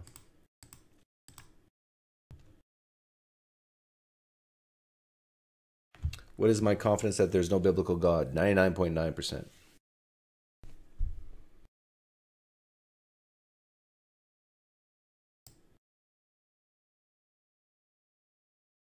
What's my confidence that there's no God in general? Some nebulous God. A little bit lower. Hey, do we have a new person? new person? No, it's John. Hey, Doug. Yes. Did you like Doug. the, Did you like the video I made of you? I think you've done a good job. In fairness, you've done because I know I was a little bit uh, all over the place. In fair, I was. I think, uh, yeah. Okay, but let's not talk politics today, okay? We talk about Jesus. Yeah, let's talk about Jesus or Allah or Vishnu. Jesus. If I met Jesus now, I reckon I would blow his brains out with a machine gun. What are you saying? Are you that bitter? Because he has caused so much trouble. He just look at all the trouble this, whatever he is, has done to humanity. Has he done good things? Does the concept of Christianity has it not done great things? Okay, well? we need to fight, huh? Hasn't Christianity done great things as well? I can't think of very little that has done. You you got the, It's- you- it's, make sure um, your YouTube tab is off and you just have to to, me wear, it's- whereby tab Huh? on. It is off, yeah. I I never put it on. My son was born I in uh, St. What? Joseph's Hospital. St. Joseph's Hospital. That's where my son was born. I think my daughter was born there too. There's a lot of Catholic um, hospitals that do a lot of good things, help people, heal people with science. Total. It's nothing. It's just. Uh, I don't know. I mean, I, I just. I, I, you're just pushing my buttons now when you mention Saint Joseph. There are Christian missionaries. Sure, they proselytize, but they do, in fact, feed the poor. That's good, right? Um, I think there is there if you- like Chris, Christopher Hitchens really nailed it as far as I can see. What was that book he wrote? God, was it God spoils everything or? Uh, re- Do you remember? um, Do you remember the title of the book? was amazing, brilliant title. He nailed it. yeah, I forget the title of it. he he just to me well I, I reckon anyway it's it's gone anyway it's like um actually I liked your um I don't know I don't know when it was I, I watch a lot of your stuff actually not trying to blow smoke up your ass or anything but you you said how this guy um, you know the guy with the dark glasses he um he wrote this book about 10 years ago on street Street epistemology. epistemology Yeah. yeah Peter Boghossian. Yeah, and I just love the way he said, "Well, you Christians, like you know, you're insignificant now. That that book is no longer. I just loved. I love taking the wind out of Christian sails like. I know, but John, you there's something wrong. Not ah, there's something not right about you. I mean, I the fa- the fact that you love me saying that Christians are irrelevant, I, and that you the machine gun comment, like you gotta chill out a little, like relax. Oh yeah, I know. I know. I okay. I'm I'm being a bit dramatic as well. Okay, Yeah, because I'm just trying to. Christians are people too, you know. I'm playing. I'm playing on the camera here a little bit. It's a bit of an. Actually, it's the first time. It's my second time ever being live on YouTube, so it's a new experience. The Now first time was with now you. you're addicted. Now you want to do social media every day. Not really, no, but um, it's a good. No, it's a. I like the fact that people on the ground in real life are getting a chance to um, express. You know, you're as you say, you come from a farm. I, I grew up on a farm as well, still on a farm, and people on farms like we we learn things that you can't learn inside. You know, in a city. You know what I mean? Yeah, you you've been an atheist for uh, how many years now?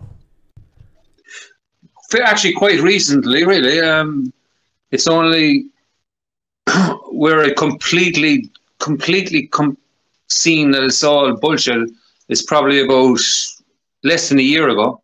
Okay. Yeah, you got about anywhere from one more to five more years before I think you cool your jets on this thing. Like you're you're gonna you're gonna be upset uh, about Christianity for another one to five years, and then after five years you're gonna relax a little bit. No, I'm actually already relaxed. I have to relax, Doug. My family are very seriously right wing Catholic.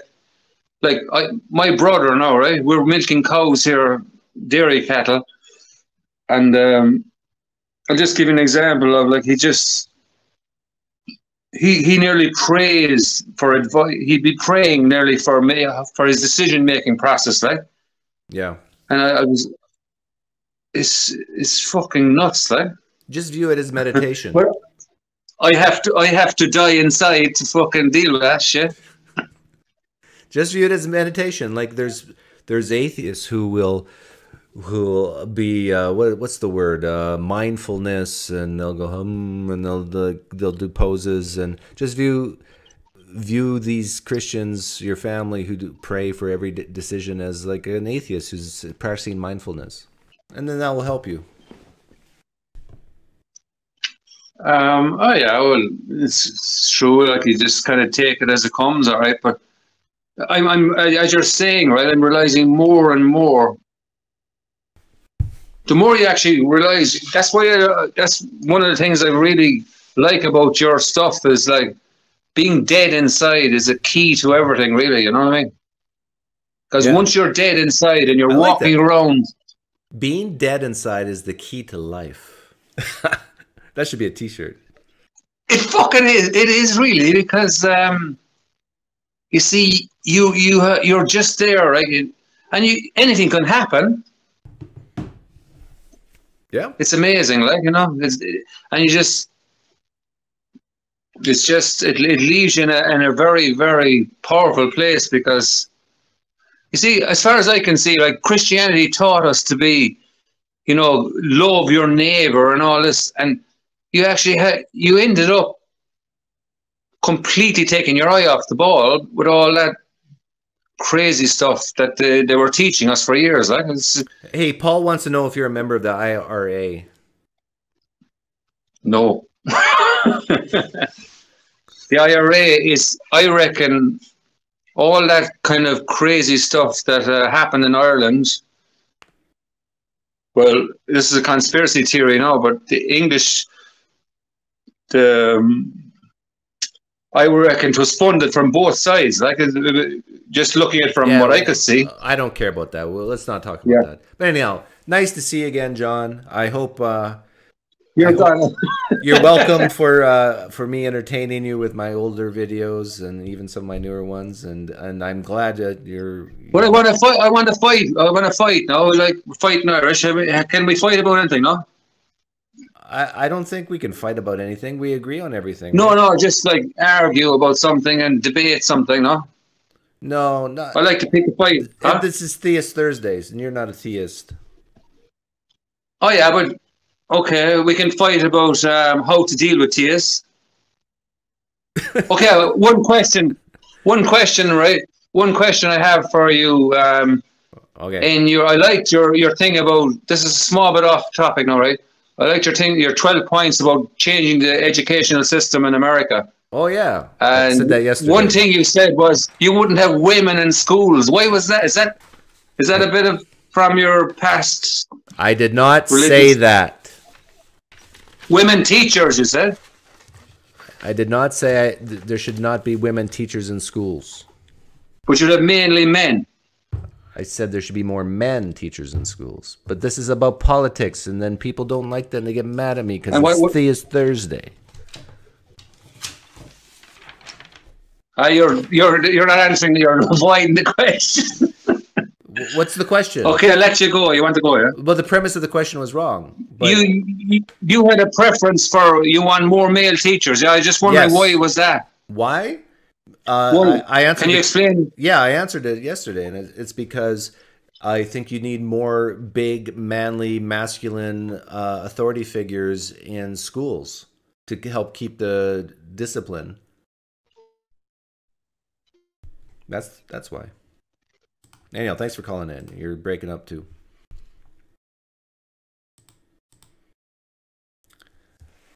I mean, it's it's nice to have some non-binary people with with pastel colors and all, but sometimes you need a manly-looking man to scare the bejesus out of people, the kids. It's like, like if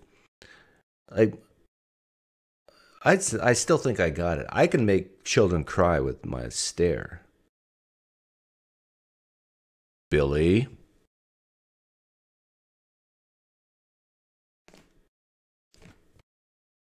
Like that's all you have to do.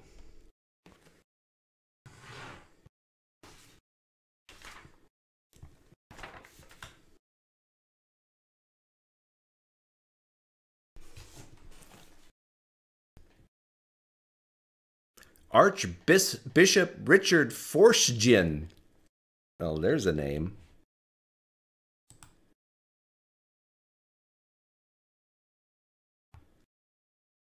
Men are underrepresented in teaching. Get those DEI departments dressing. Yeah. I mean, if there should be 50% um, male female board members and companies, there should be at least 50% men in elementary schools. But again, this is politics. I'm begging, asking nicely for theists to call in. I prefer new people. I'm still waiting for that uh, Pentecostal guy and his wife to come in, but they're scared.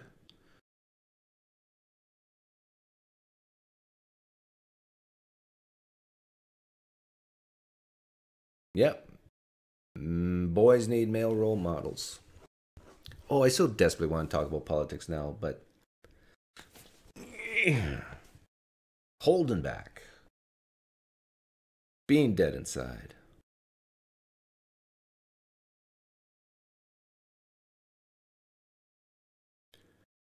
Join late. Where and when did I meet Turek? It was in Phoenix in uh, December of last year. Uh, it was the um, what's it called? What conference? America Fest conference. It's basically right wingers, mostly Christian right wingers, talking about how um, bad Democrats are.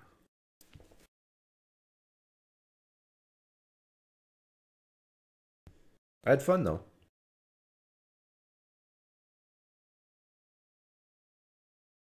I scared all the thieves away. No, I didn't scare them away. They're well. I was going to say they're here listening, but they just don't want to come on. But maybe I did. Let's start a poll. It's confidential. I am a theist, atheist. This is a true dichotomy, in my opinion, but I'll add a third option just to keep people happy. Because I'm a people pleaser. What can I say? Um, okay, so I got three options.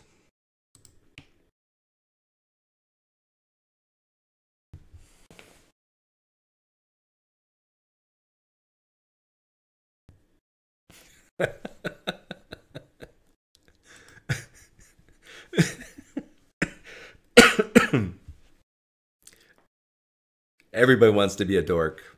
Who doesn't?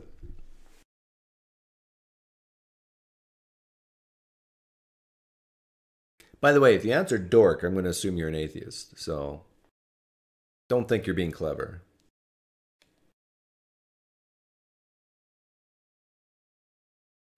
You're kidding me. I got 26% theists in here right now and nobody's calling in? They must be all pantheists. Okay, I'm going to break my rule. I'm on record saying I hate pantheists, but if you're a pantheist, I'll even take you.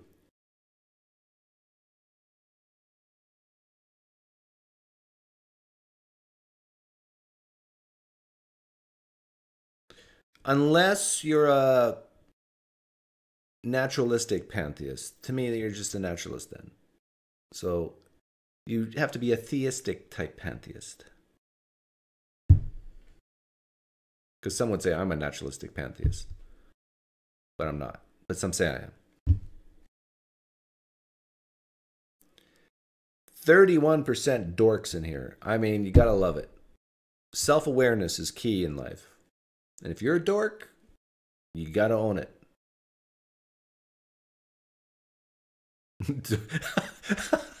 dork lives matter.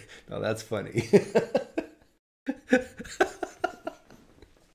oh, that's racist, but it's funny.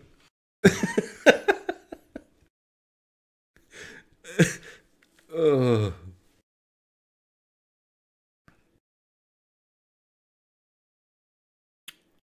I'm a good racist, for those of you who are wondering. There's bad racists and good racists. I'm a good one.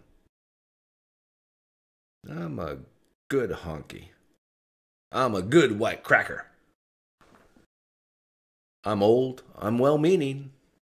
and I'm very forgetful. I can have confidential material. Ah, stop with the politics.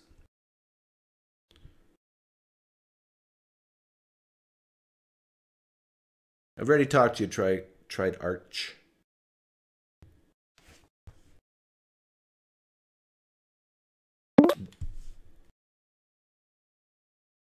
Is this the Franklin I know?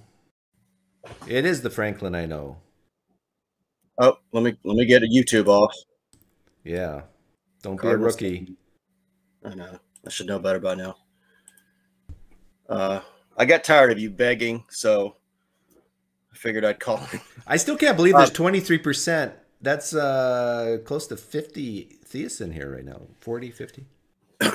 Well, I uh, wanted to ask the question based on the conversation you just had with, John, but the that what you just said reminded me of something Um, because I know you've been recently not having as much fun talking with theists, and and it also seems like it's harder to get them to come on. And I think maybe what it is is that we're all used to the internet now and this ability to be able to speak to each other um, and we've kind of uh, those of us who on both sides are interested in this topic have probably heard everything by now and i think we're Yep. sort of in our corners you know like i've heard your points for the most part i think you've heard everything christians have to say so i don't know how how much of a chance there is for us to change one another's minds so it may be just sort of well, it's more for new people. situation.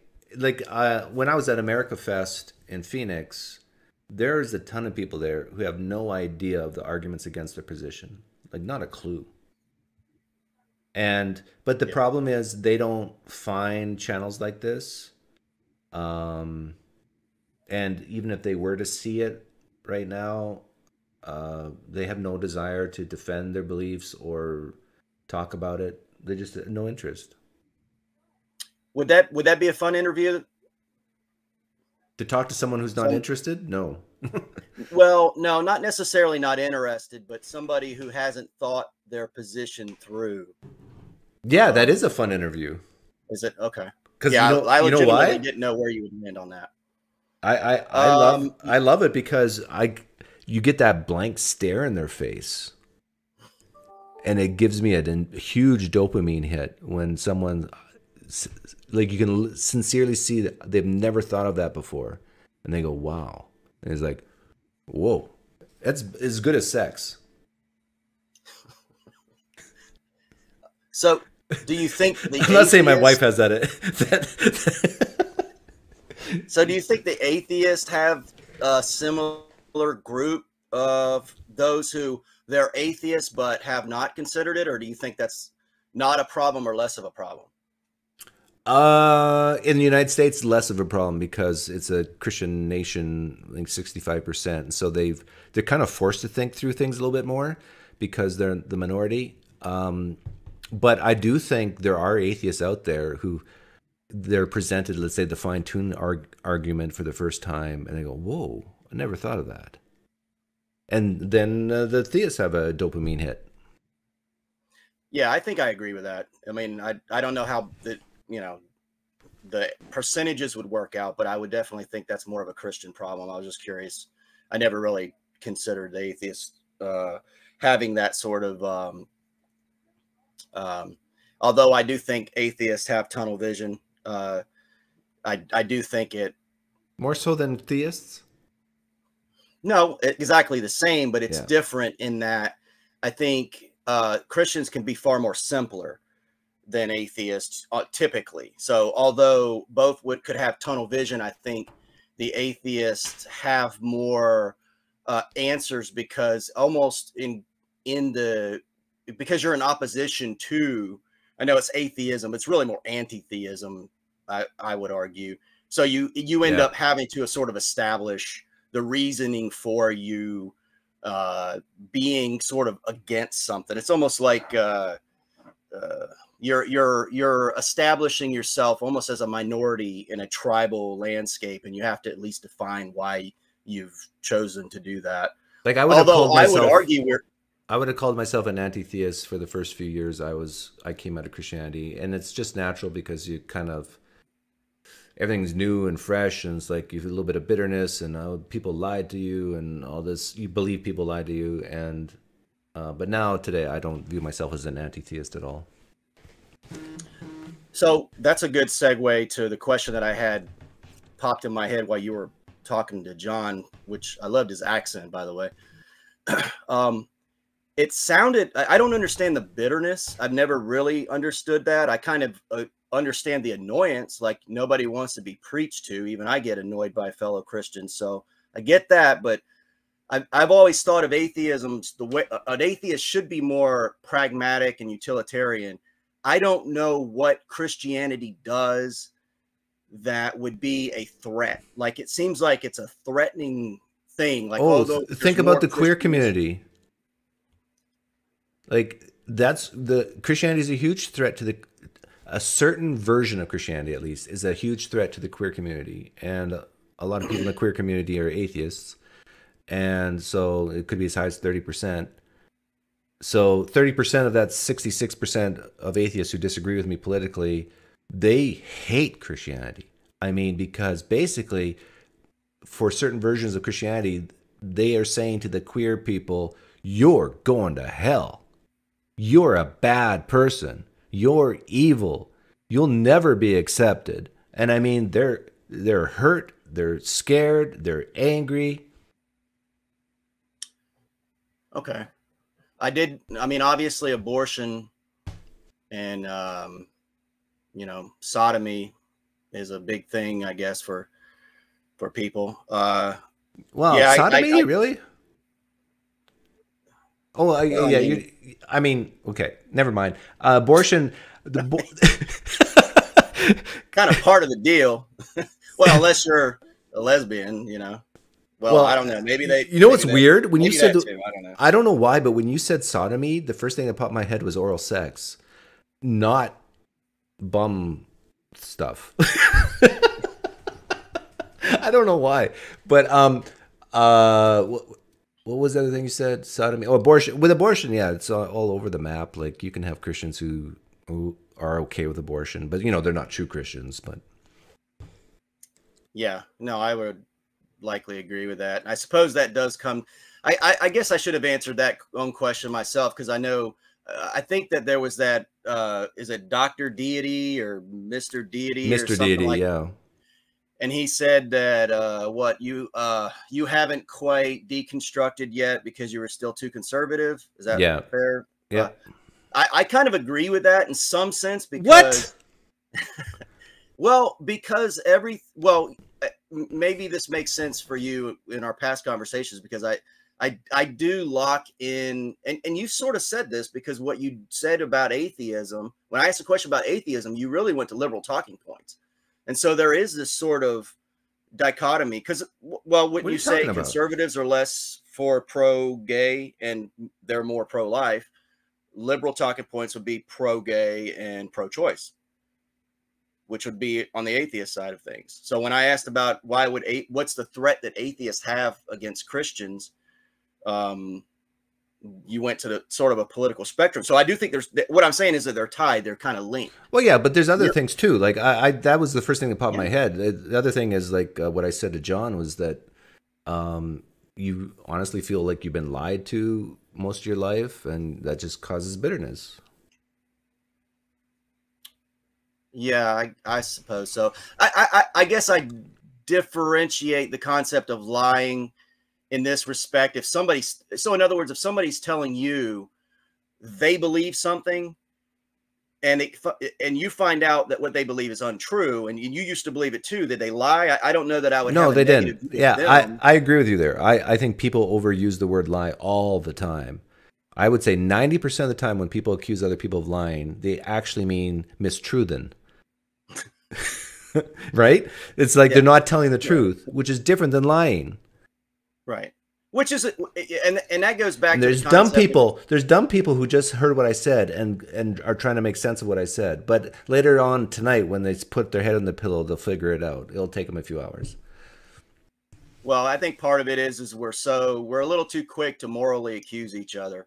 both sides. You know, that's the other thing where it's like I and that's the part I understand that has been a problem uh, with at least a character uh, characteristic or characterization of Christians is that we're overly judgmental and uh, con- condemning.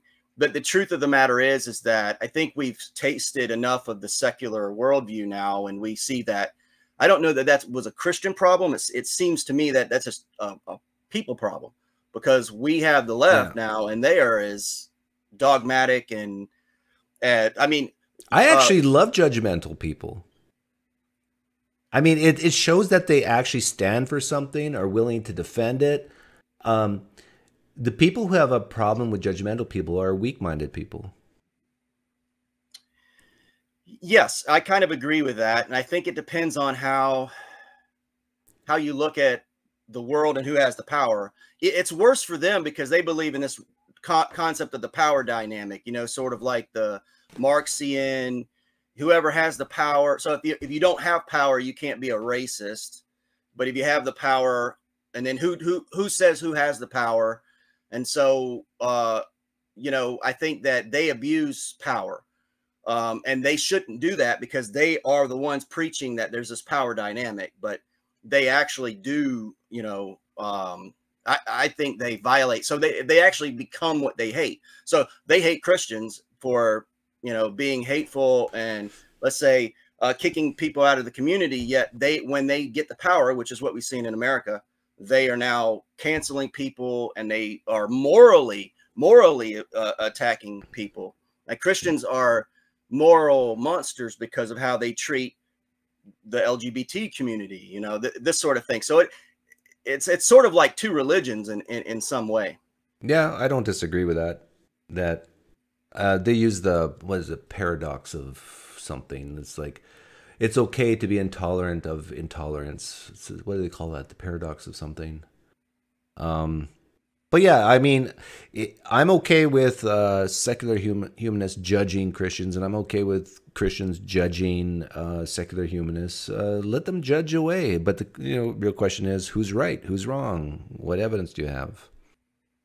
Agreed me and you think that but they're actually a little different in that they don't actually want to talk that out. They don't want to figure out who's right. They want they already know they're right and they want to shut you up.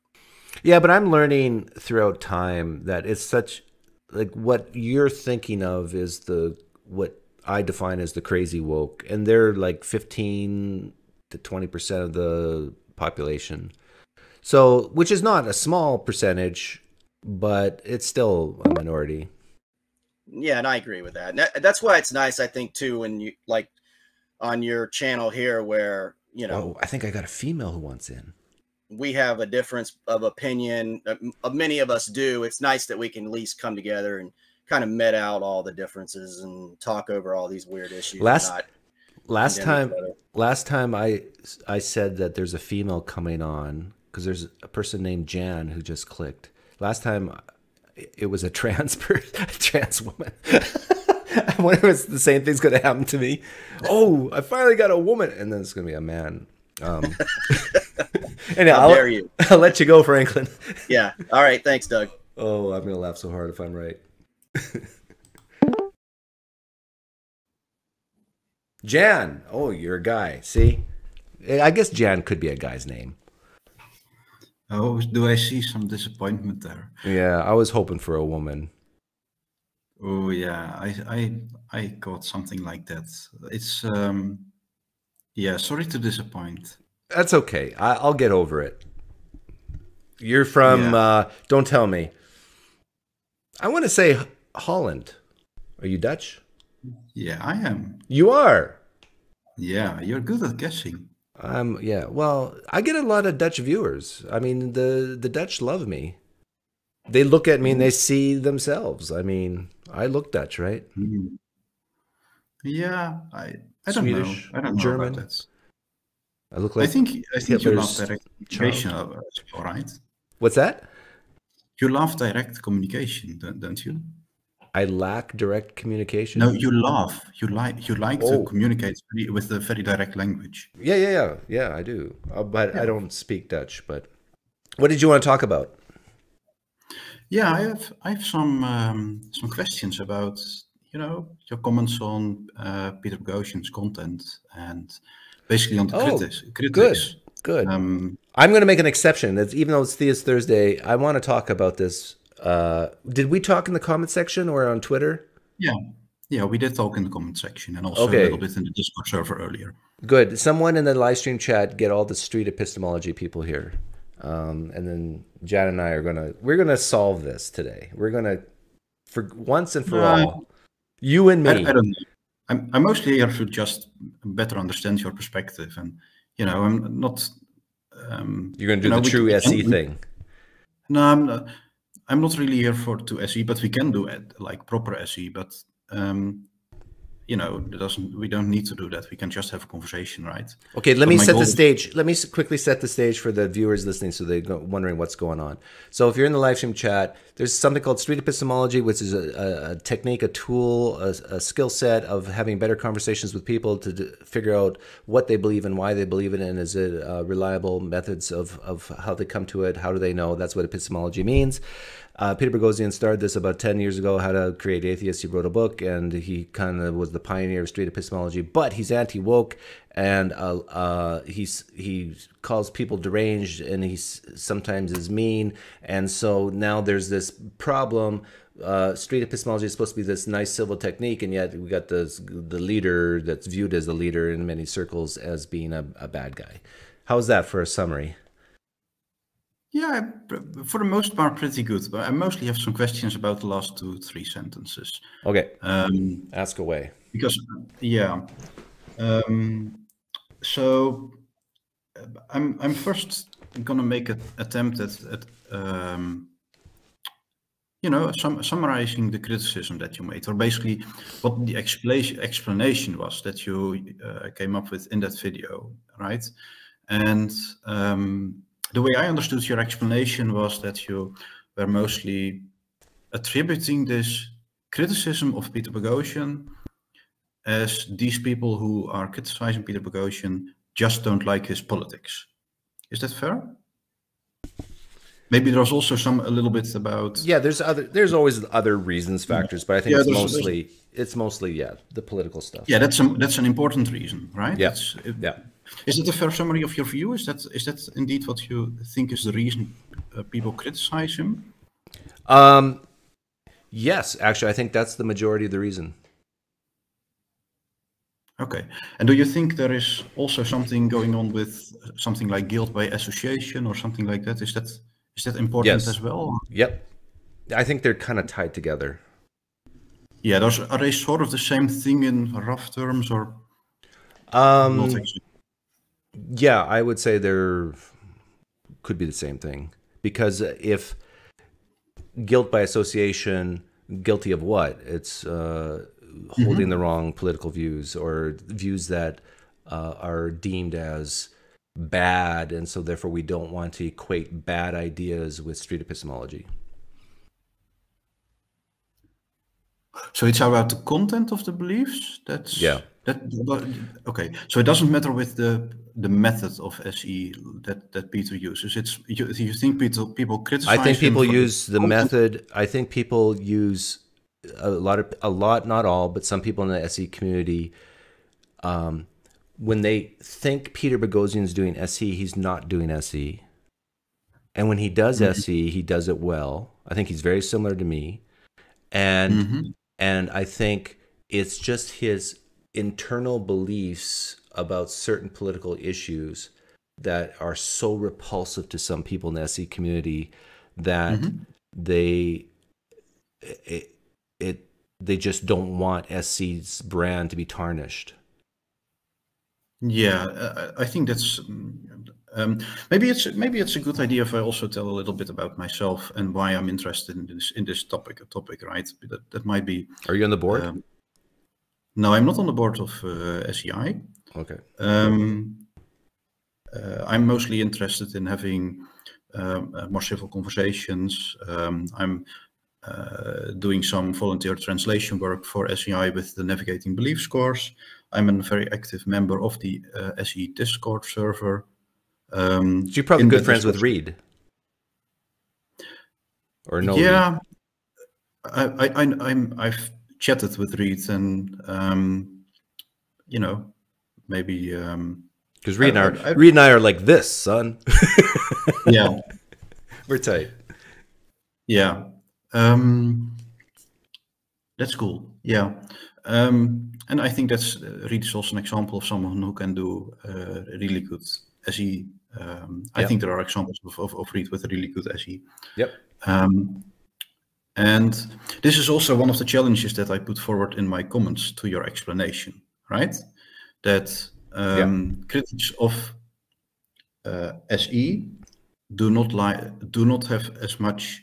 Critics of Peter are not as critical of Reed, while they have the same political views for the most part. Okay, this is where I disagree uh, because of certain reasons. I, I, I, I agree with you. They're not as critical of, of Reed as Peter. But if Reed were to be as big as Peter on social media and in his private circles and even public circles when he's giving his opinion on, on certain political ideas. So if Reed from Cordial Curiosity were to come out, if he were to come on right now, and he might be listening, and say, "Yeah, I don't I don't think trans women are real women. I really don't. I think my definition of women and men are based on chromosomes and whatever.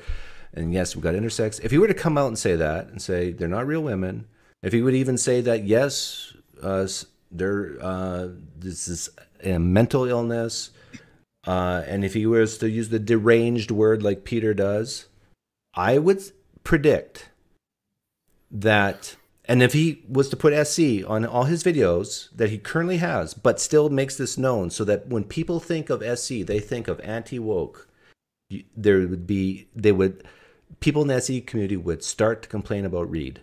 That's my prediction. Hmm. Yeah, and of, of course, this is not a, a prediction we can really test right now, right? Because Yeah. this is not something that's happening. So, um, I was It could happen. We could actually hire Reed to do it. Yeah, so but this is like not really much of an.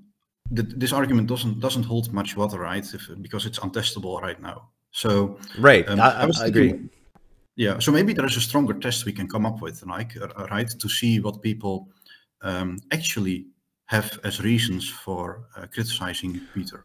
Well, first of all, if the criticism is about technique, um, you can actually come up with very simple things like find me a video where uh, Peter Boghossian is actually doing SE and not just giving his opinion on things or talking to someone he already agrees with. He's doing an interview, an SE interview, where he said, calls someone to their face deranged. Have you ever seen Peter do that? Well, the crit- I think the criticisms of S of of Reed, uh, the sorry, the criticisms of Peter are not really about his uh, usage of the word deranged in uh, the SE context, in the SE conversation context. I think, um, surely, I think it's not a very nice word to use to describe people with. I Um, agree.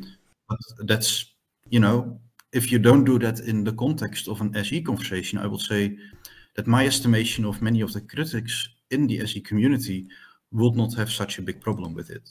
Um, now, um, I, I, I agree. There might, might also be some people who would still have this this view that then it's still a problem, right? That's there is there, it's not like your argument is completely um, meaningless or doesn't like not at all repre- represent. I got to be honest with you, Jan. This conversation is going a little too slow for me. So let's like cut right to the chase. I I I think that the issue is not so much about technique, uh, because there are many Yeah, SE people. There are many SE people who don't have perfect technique, uh, and you need a standard. And I know S, the SEI has made a standard of what is is good SE. I get that. Yeah. But nobody is going to. And, also, and so and so has Peter done in his books, right? Yeah, yeah, and and so the And real he, he, doesn't do what he doesn't do what he describes in his books. Okay, that yes, this is the issue. And I say there's nothing wrong with that. There's nothing wrong with saying here's how you have a better co- uh, conversation with someone and then choosing not to do it. Yeah, and he, he, he can do it. And then, um, you know, since since there are now a lot of people interested in SE, and they don't like that he is not doing what he's say, saying. He's doing false advertising. No, no. It's a problem. If if some are you saying every conversation Peter needs to ha- uh, does has to be an SE type conversation? No. Okay. But when he does when he does when he does label it SE, it probably should be good SE, right? If you're the author of the book and then don't do good SE. Okay, so here's the issue. There's a problem, right? Here's the issue. If you go to uh, Peter Boghossian's website right now on YouTube and type in uh, street epistemology, I would say 90% of it is spectrum street epistemology. Yep. Right. I agree. So Yeah. do you view spectrum street epistemology the same as street epistemology? Because they share the same two words? Now, I, I agree that there is a little bit of the, uh, light between the two, right? It's not exactly the same, uh, but I think that's, you know, maybe a little bit. He, he, sometimes he introduces a video that is used that is labeled spectrum street epistemology, but in the video he uses the word "let's play some street epistemology." Right, so it's not even like he's using these words very consistently uh, in in a right in a clear distinction. I agree. So it's it it's a I think it's this is a very you know you're trying to to to squeeze in some room for this to, for a distinction that really isn't there. I think. Well, is this fair or Um, number one, Peter has is under no obligation to agree with SEI's definition of street epistemology. whenever you say he's under no obligation, I already uh, agree. Right. Okay. So You don't need to say anything else after that. I so really, so then the question is, what are we really talking about? So Well, he's he labeling just doing he, he, he's doing what he wants to do. Yeah, but he is labeling something as SE that is not as SE by the standards of his own book and by the standards of the SE course. Okay, by the standards of his own book. What are those standards? Well, there's a bunch of things there, right? There is um, um, the the goal of um, promoting understanding, promoting critical reflection, having certain types of mindset. There's also all sorts of things that we can we can talk about. Um, Okay, now no- who's the no, judge? there is there is a caveat. There is a caveat I need to make, right? I haven't read his books. I've just read the course, and people have told me that the books and the course are similar. Okay. so that's something to be. So let's say you found you found his books that he wrote. He's written a couple of them, right? And Yeah, one of them is there's one of them is promoting critical thinking. Do you think street uh, spectrum street epistemology promotes critical thinking? Well, this is a tricky question, right? Um, it See, could be the it's subjective, right? Mm, well, I think it's an empirical claim. Well, I it's a matter of opinion. Like because the best answer I think you and I could give to that the question I just asked is yes, but to what degree? Like is promoting critical thinking if someone like has like a, a, a light go a light bulb go off in their head for two seconds does that count as promoting critical thinking like how far do you have to go how deep do you have to go before it's really critical thinking this is all subjective stuff Mm, I don't know. There's there are some markers you can look for. Sure. Typically, a marker for when someone is thinking critically, you see them pause and you see them, for example, look at the ceiling and uh, you know stuff like that. but it's so context dependent Yeah, but that's they can vocalize it often, right? Oh, that makes me think. Oh, I'm, I'm not sure about that. Stuff like that is all ty- types of indications, all types of markers that there is the critical reflection going on. I don't know. This we could probably measure that, like how often that occurs in these videos. But then you can also think about the audience, right? And I, I guess that's where you were you want to go with this. That he is inspiring his audience with critical thinking, um, and not his. Did you uh, watch me do? Did you watch me do Spectrum Street epistemology? I did No, in real I know life. you- yeah, I know you've done some, and um, I'm, I'm I've heard people say that you do a better job of it than Peter. So, um, but I haven't watched it myself. I think, or I've watched a part of it. Okay, so I encourage you. I uh, go Pine Creek in real life IRL later on, in comfort of your home later, and watch it. And I haven't read Peter's books. I, frankly, I don't care to. Um, but I have watched Peter do Spectrum Street Epistemology, and frankly, in my opinion, it's way more fun. It's way more interesting, and I Yeah. do think it promotes critical thinking, even if it's just a little bit. And when I did it, I um, I encourage people to actually ask me questions back, and Peter does that too. And at the end of it, we were all happy. People who disagreed with each other were all happy, and said, and they wanted to keep going. They wanted to do again. And Yeah. I see that same thing happening with Peter when he does it. So you got those elements it's of his you got the elements of his own book about having cordial conversations, um, asking questions, Socratic method.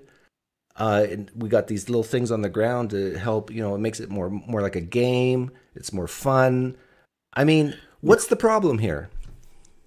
Yeah, my challenge for uh, for people who want to figure out like is actual critical thinking going on um, would be to look for a video of Peter Boghossian where he does spectrum street epistemology, and then find out: Do I know more about the quality of the reasons that people have given here? Like, is this a good quality reason that that people are giving to arrive at this belief? Okay, when you Have say good, when you say good quality reason, Yeah. that's subjective. You can say, well, Yeah. no, that's that's a quality reason, but that isn't a quality reason. When sure. have you ever seen Peter get the marker board out? Yeah. And then you have to guess each other's reasons. Yeah. Isn't that a type of getting to figure out what are the reasons why people believe?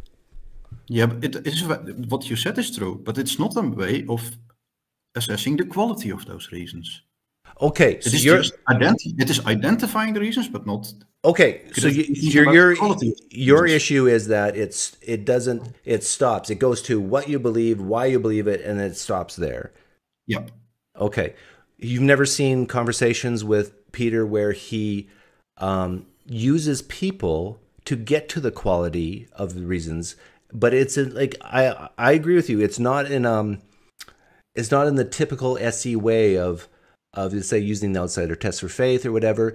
But when Yeah. when someone like if there's more than one person playing the game and someone says, "Here's my reason," and they don't we don't examine the quality, but someone says, "Hey, I like that reason. Maybe I'll shift one to the left or one to the right."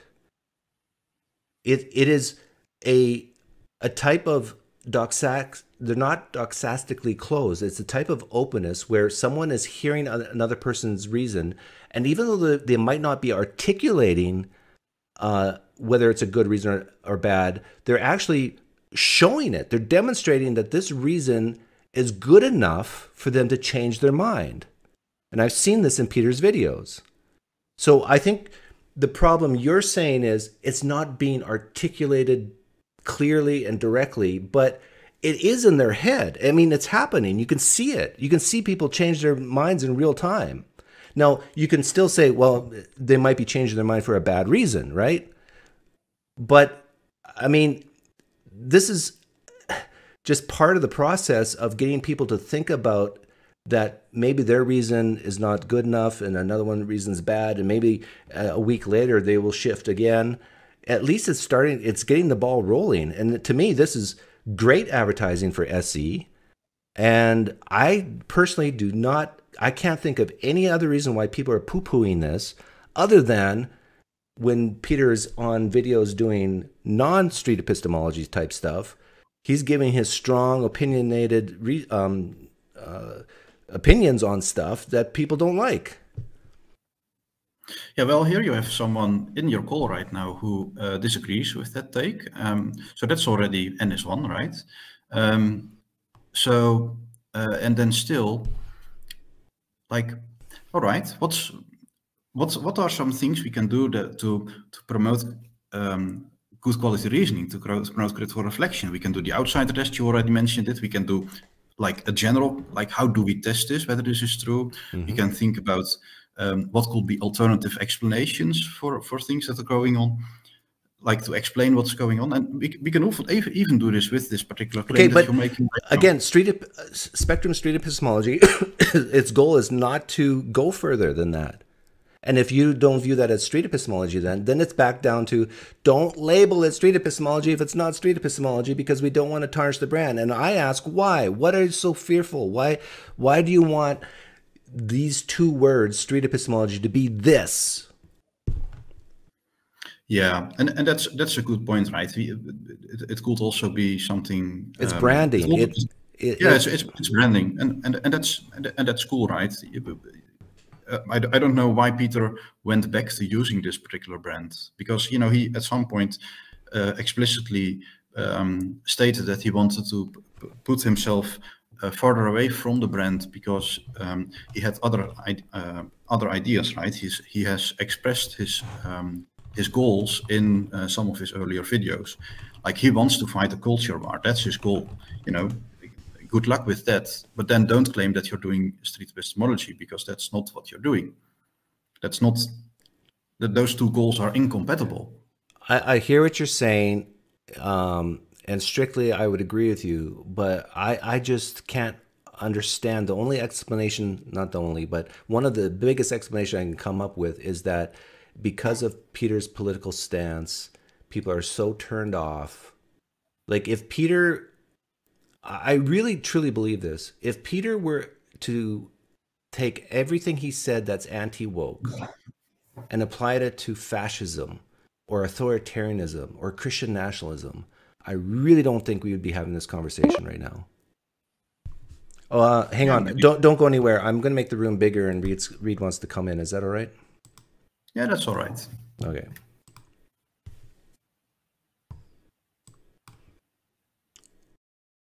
Let's see if this works.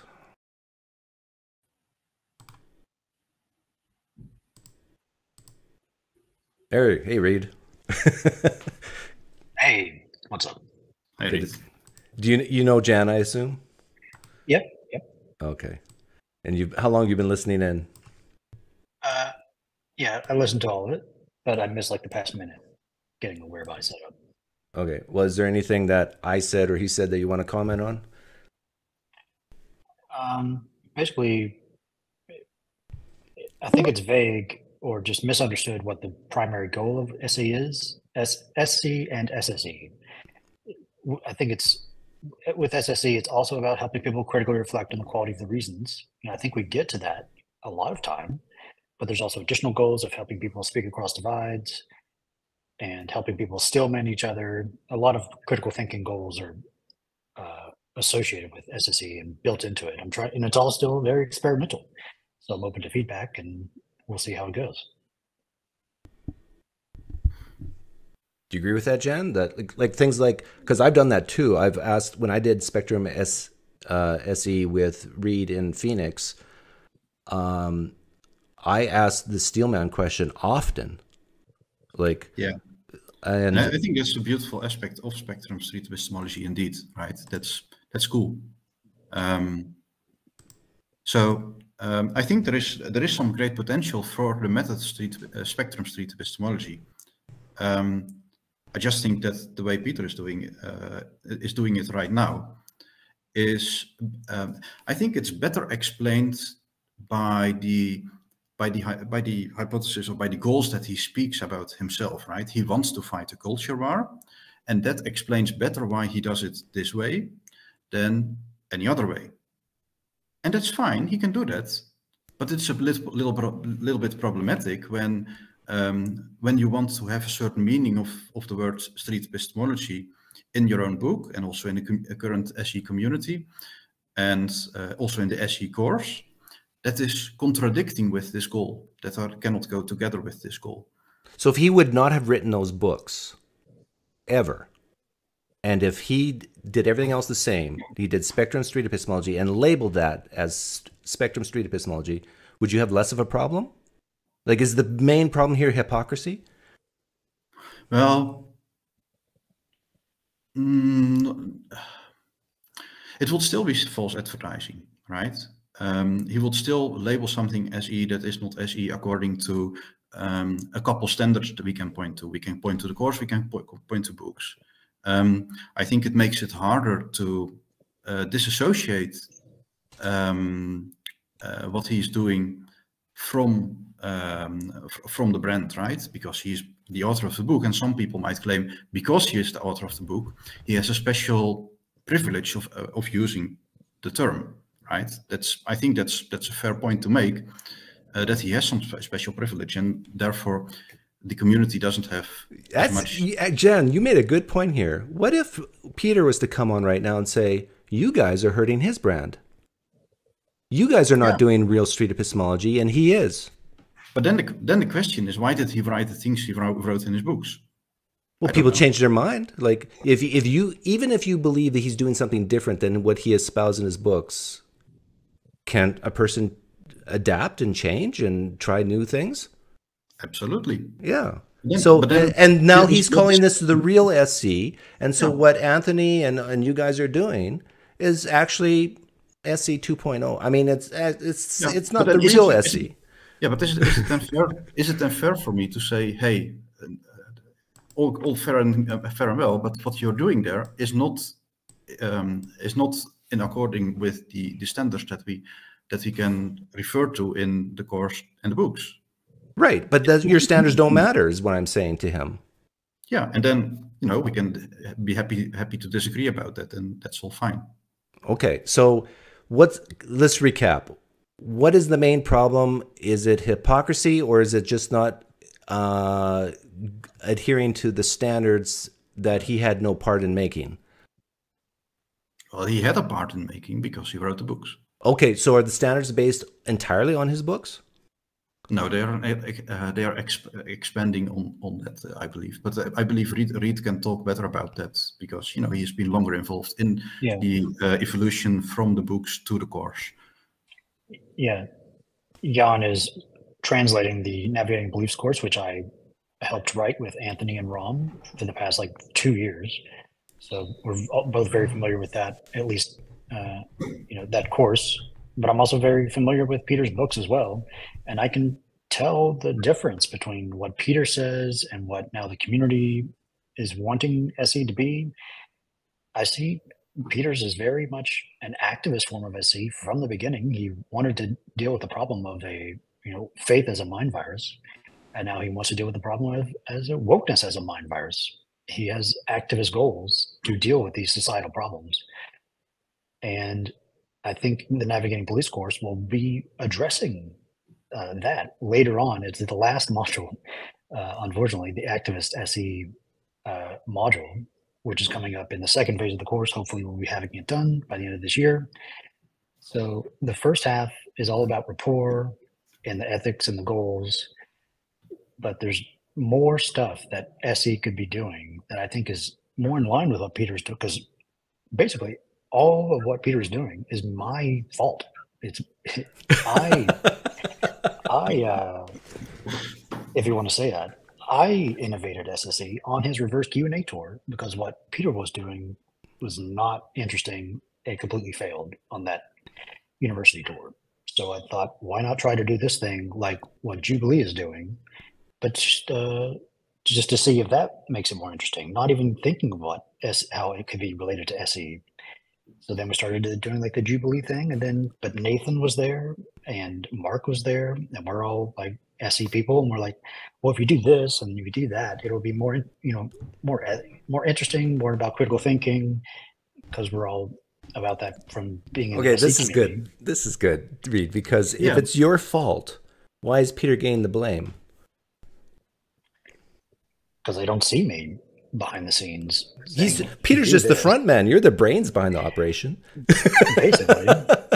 Yeah. So I, believe this is very cool because this th- th- this I think this highlights a, a, a- difference in perspective um, that has um, uh, come about between um, you know a whole bunch of people who have experiment. The, the, the community has formed itself around the ideas of street epistemology and has experimented with it um, uh, more. And um, you know there are certain things that you know, not saying uh, words like deranged and delusional and mentally ill about people who have cer- with certain beliefs, that we can all with common sense say like that that doesn't really help with critical reflection or increasing understanding.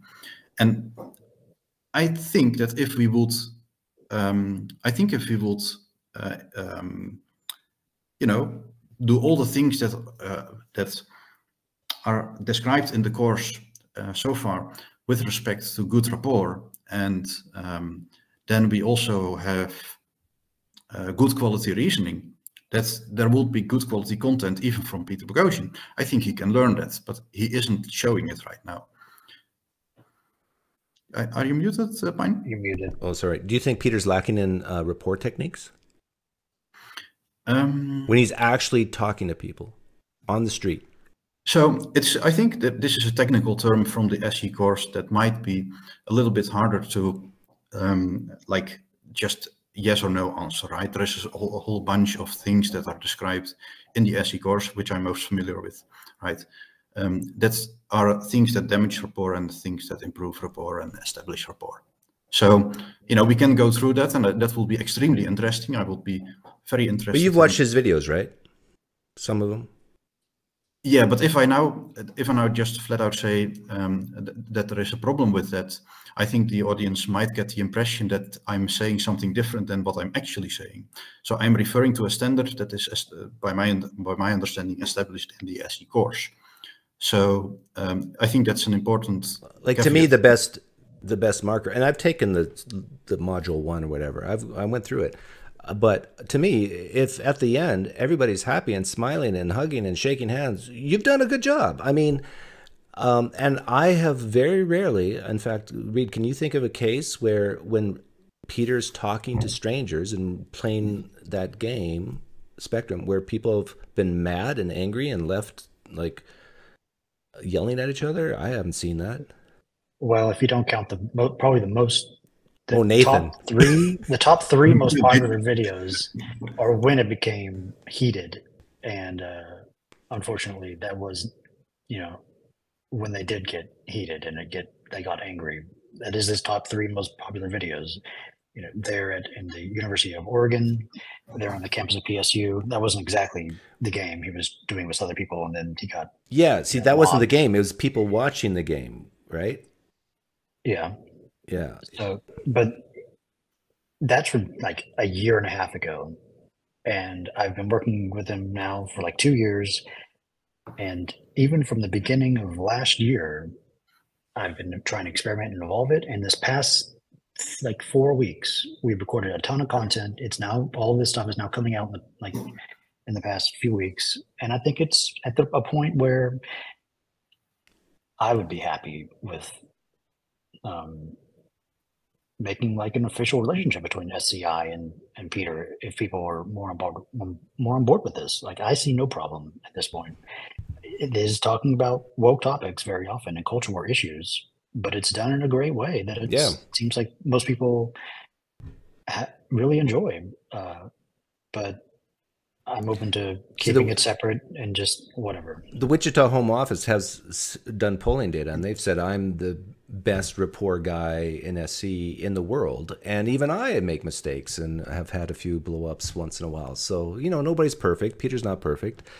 But I think overall, if you look at most of his videos, he hits the rapport stuff pretty good. Um, it is interesting. He does talk about why people believe things and the quality of the belief. Like Reed, you you typed something in the live stream chat before you got in here. Do you want to talk more about that?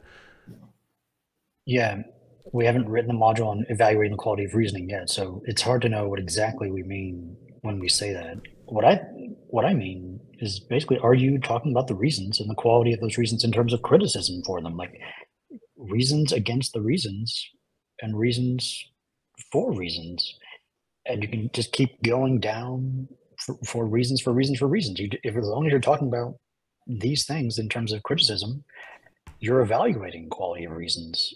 And a lot of time on SSE, we start with a main topic and a main claim, and we get reasons from both sides. And I'm there in the side of the room, basically on a laptop, mapping out the entire argument. And I'm hearing either assumptions people are making or reasons for reasons, and then I I put up a new claim on the board that relates exactly to the quality of the reasoning, as far as I can tell, and we just keep playing I'm until peeling, yeah, I'm peeling that onion. Um, until it becomes like okay now we understand each other and that's a success for now once we've understood enough. And if we go to a Yeah. completely different topic it'll we'll just reset. So And I think I I'm think there's yeah there's there's something um, I, I think this is a pretty recent addition to the ideas of street epistemology that uh, we can also um, um, use nonviolent communication in the context of a conversation with someone, right? And I'm not sure, I don't, I think many people are not familiar with what nonviolent communication is. Um, so, you know, in, in, in two sentences, basically it is a way to talk about um, other reasons than rational reasons why people uh, do certain stuff. Also, believe certain. I think the combination with SE also allows uh, to talk about why people believe certain stuff. But it's also about hey, why do you do this, or what what what what need do you have? Why do you get emotional? Um, um, uh, st- stuff like that. I think that's that's a powerful technique to combine with SE, right? Um, and a crucial part of um, of nonviolent communication, and I think it's it is already in the course described as a crucial part of SE, is um, to have a civil conversation with, with with the other person, where you have a strong sense of empathy for, um, like, how did we get here? Why are we where we are? And I think using words like deranged, delusional, mentally ill, and what, whatnot more, that, that kind of stuff, you can say Pine Creek that Peter Nails rapport. No, he doesn't. If you say st- stuff like that, you're just. Oh, wait a minute. Wait a minute. Wait a minute. Wait a minute. Wait a minute. If if I say um, it is crazy to believe a man rose from the dead two thousand years ago, Yeah, that's and then are you saying I cannot have a good conversation with Christians? If no, that's not what I'm saying. What I'm saying is that is is reducing the um, opportunities for critical reflection. No, when no, does he no. do this in SE context? Yeah, he doesn't do that. He like, have you ever heard an uh, SSE or SE thing done by Peter where he called someone deranged to their face? Um, I don't have this. I'm pretty sure I can come up with that. Um, I, I don't have it with me right now, but You might be able to find one. I can't think of any. Of, Yeah. can you think of any off off the top of your head? I remember Peter calling someone who was walking by and not playing. Remember that guy with the, the old man with the ponytail, the typical stereotypical woke guy. Mm-hmm. and I Yeah, but, think Pine and- Pine- let, let's be fair. Reed already said there is a massive amount of improvement recently going on, right? So if even if we of can find very old examples, those would not be very relevant because they, they can be Yeah, dismissed true. recent improvement. So you know, we don't even need to go there to find such types of evidence. I know, but Mm. what you you actually triggered me a little bit because you said something about empathy for people that you're interviewing. Yeah. What does empathy have anything to do with it? Well, do you think that it is um, easier and uh, you will have better conversations when you try to meet a person where they are at in, in with respect to their emotions and um, uh, their beliefs? Sure, yes, it can be a benefit, but I'm saying that you could actually be dead inside in a robot and do a good SE conversation. Yeah, Chat. GPT.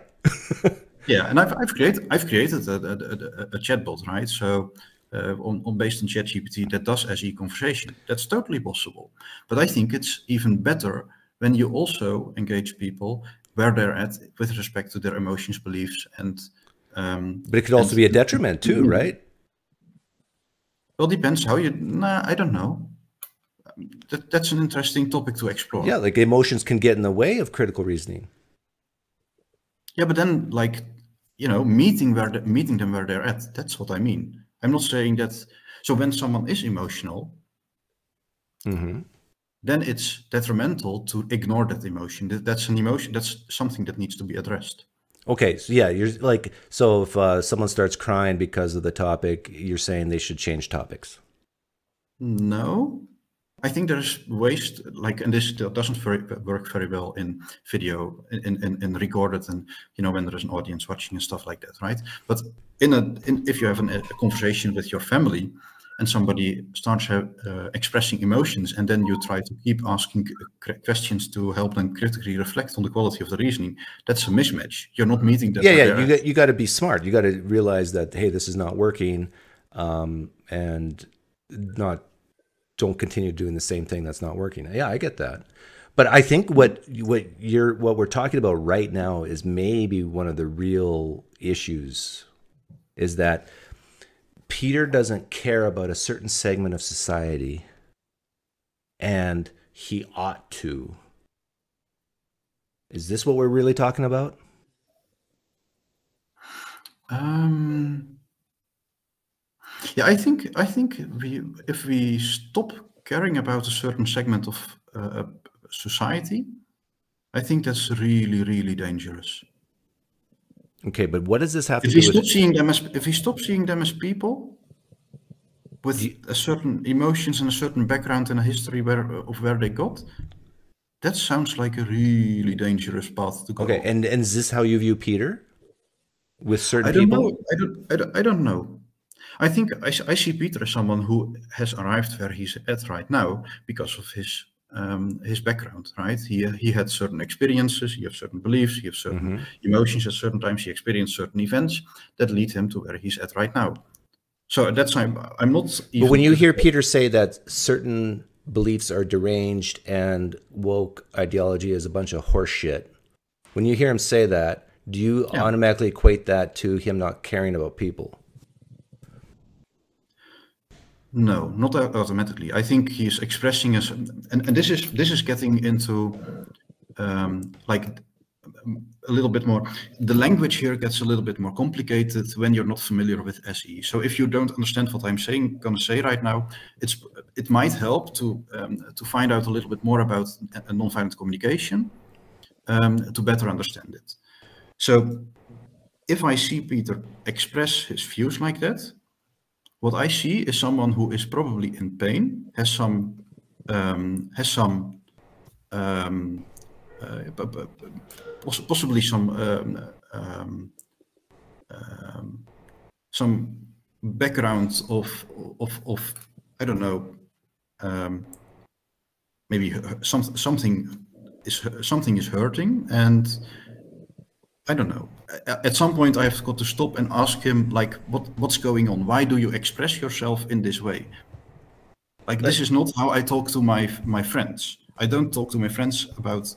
I I don't don't talk about my friends that hey we Okay, rearranged. So something something something is not.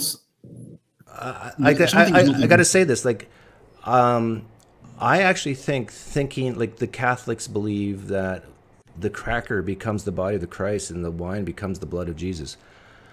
I actually would use the word deranged to describe that belief. I would. And i think it is absolutely nuts what a lot of christians believe. But guess what? I've had great conversations with christians. And I think Peter can do the same, even with what Yeah. he calls woke. And maybe maybe this is maybe this is true, right? Maybe this is how how these words have their meaning. I don't know.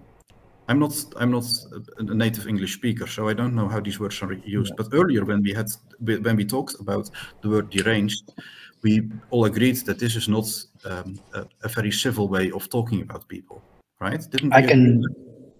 I can steelman the critics of Peter uh, when he says deranged as a term.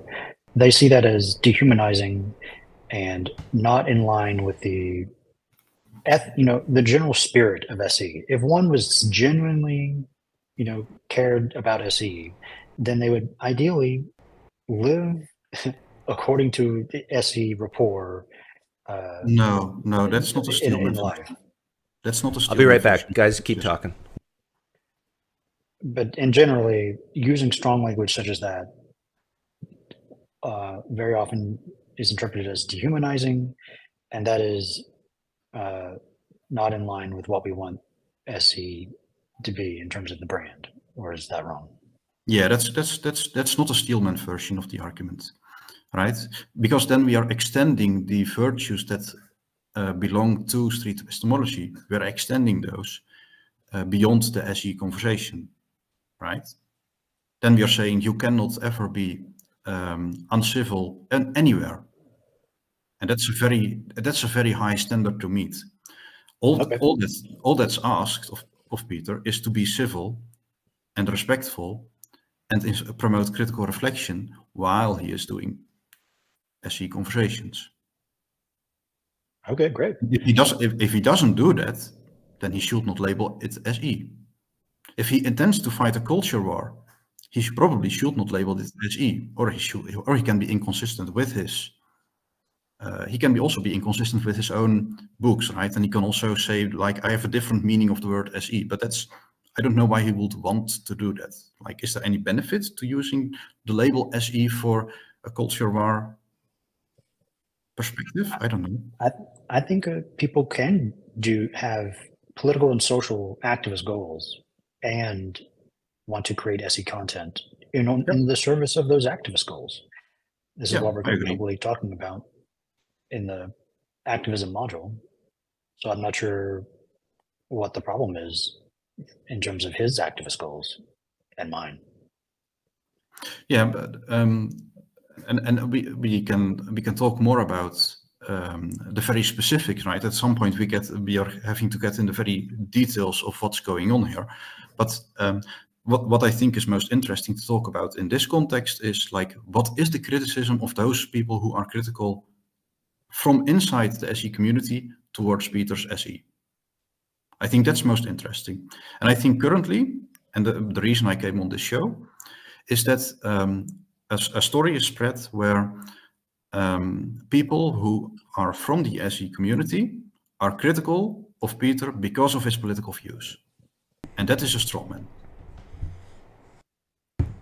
I think and what the you, truth. also, what, you, what you also just described, Reed, is also a straw man of the criticism. And again, I'm using the word straw man here not as a as an insult. I'm using it as, hey, this is not the strongest version of the arguments that are being presented. I I think um, if I had two hundred thousand more subscribers and more views than Peter, uh, this conversation would be about me and not him. Are you labeling your content SE? Some, yeah. All my IRL ones, I've labeled as SE. The ones Reed and I did together. Have you been um, criticized about those SE conversations? Uh, those conversations that you are labeling? SE? I would dare to put my S those uh, Spectrum Street. There was all well, not all Spectrum. There was some Spectrum, some regular. I would put them side by side with Peter's, and I bet you, if you had a panel of judges based on your standards of what SE is, you would probably rank me and Peter about equal. Just either I don't- just I as good I or just as so. bad. It'd be about the I same. don't think so. There's something you have. A, you have a very uh, you have a very powerful skill, um, and you're very good at this. You're able to present the argument from your uh, conversation partner to their own satisfaction. So you're saying I'm better than Peter?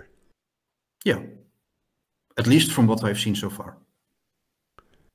Yeah, I. To, to me, this is just a matter of opinion.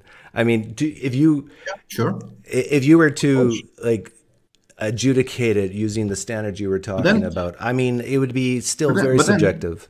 Yeah, but all right, but then you have your opinion that it is uh, because we because people from the SE community uh, disagree with him politically, right? And I have my opinion that it is for the reasons I described. No, Now, I, you're- I- no, you're I'm not- saying it's still political with me. Like, because I will say things like trans women are not real women. Like, I'll say stuff like that publicly, and which Yeah. is a very ant, a very yeah anti woke thing to say. And I think that if if my face became um, part of the brand, when people see me, they think street epistemology. But how does your face become part of the brand? Same as Peter's.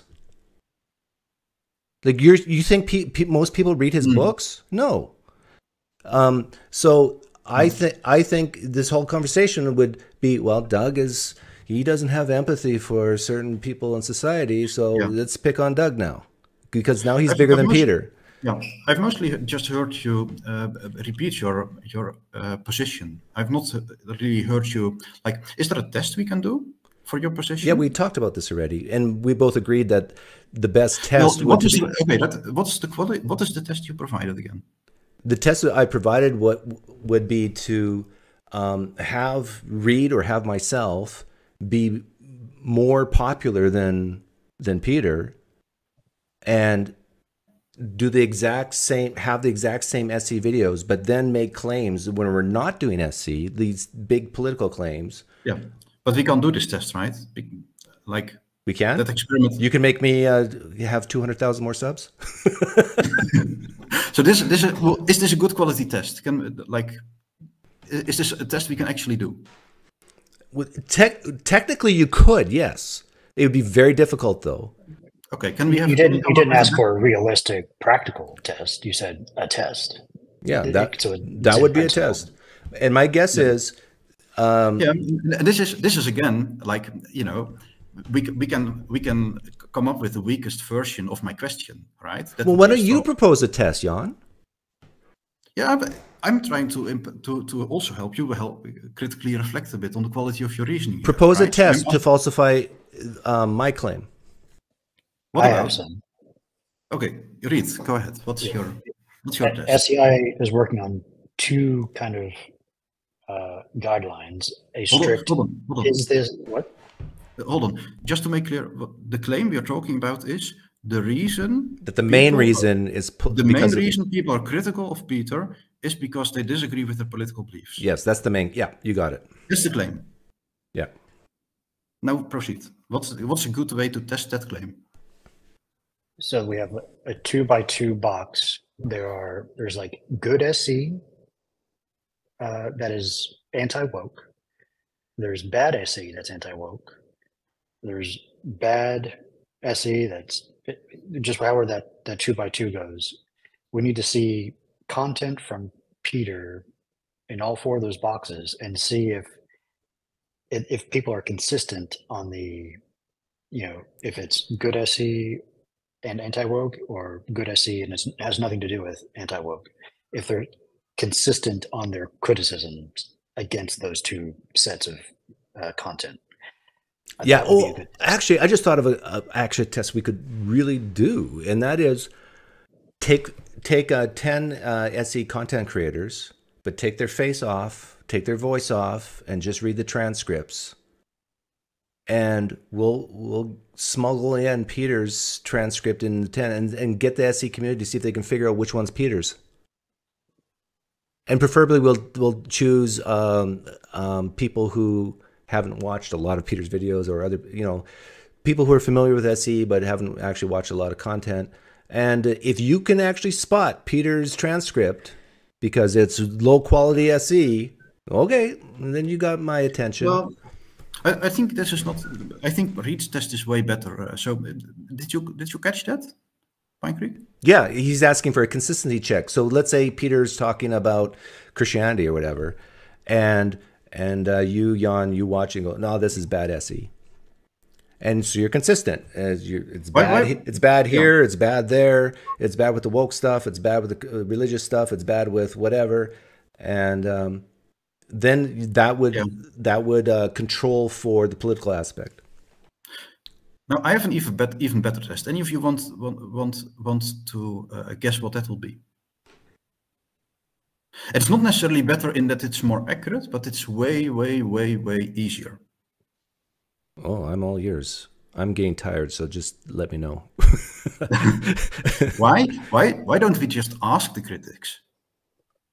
Oh, because I don't believe them. That's why. All right. Yeah, Yeah. no, I'm being serious. Like I think um I think people will say that this is the reason that's the technique because it makes them look bad to say I disagree with I disagree with the politics. There is incentive to say it's about the technique. Hmm. Hmm. Right? Do you disagree? Well, because you kind of look like a schmuck if you say it's a, it's about the politics. That, yeah, sure, there is some incentive, but like the whole reason people are interested in SE is because they, uh, for the most part, care about truth, I guess. Right? No, where do you get that from? Well, People- it's about it's about critical thinking. Are you talking about the general population? No, I'm talking about those people who are part of the SE Oh, community. okay, yeah, yeah, Those- yeah. No, that, yeah. yeah. No, I, I no, I, yeah, okay. I, I thought you were talking about the general population, people watching, actually watching the Yeah. videos. Like Reed said, it's also people. It's also people who are interested in critical thinking. yeah, yeah.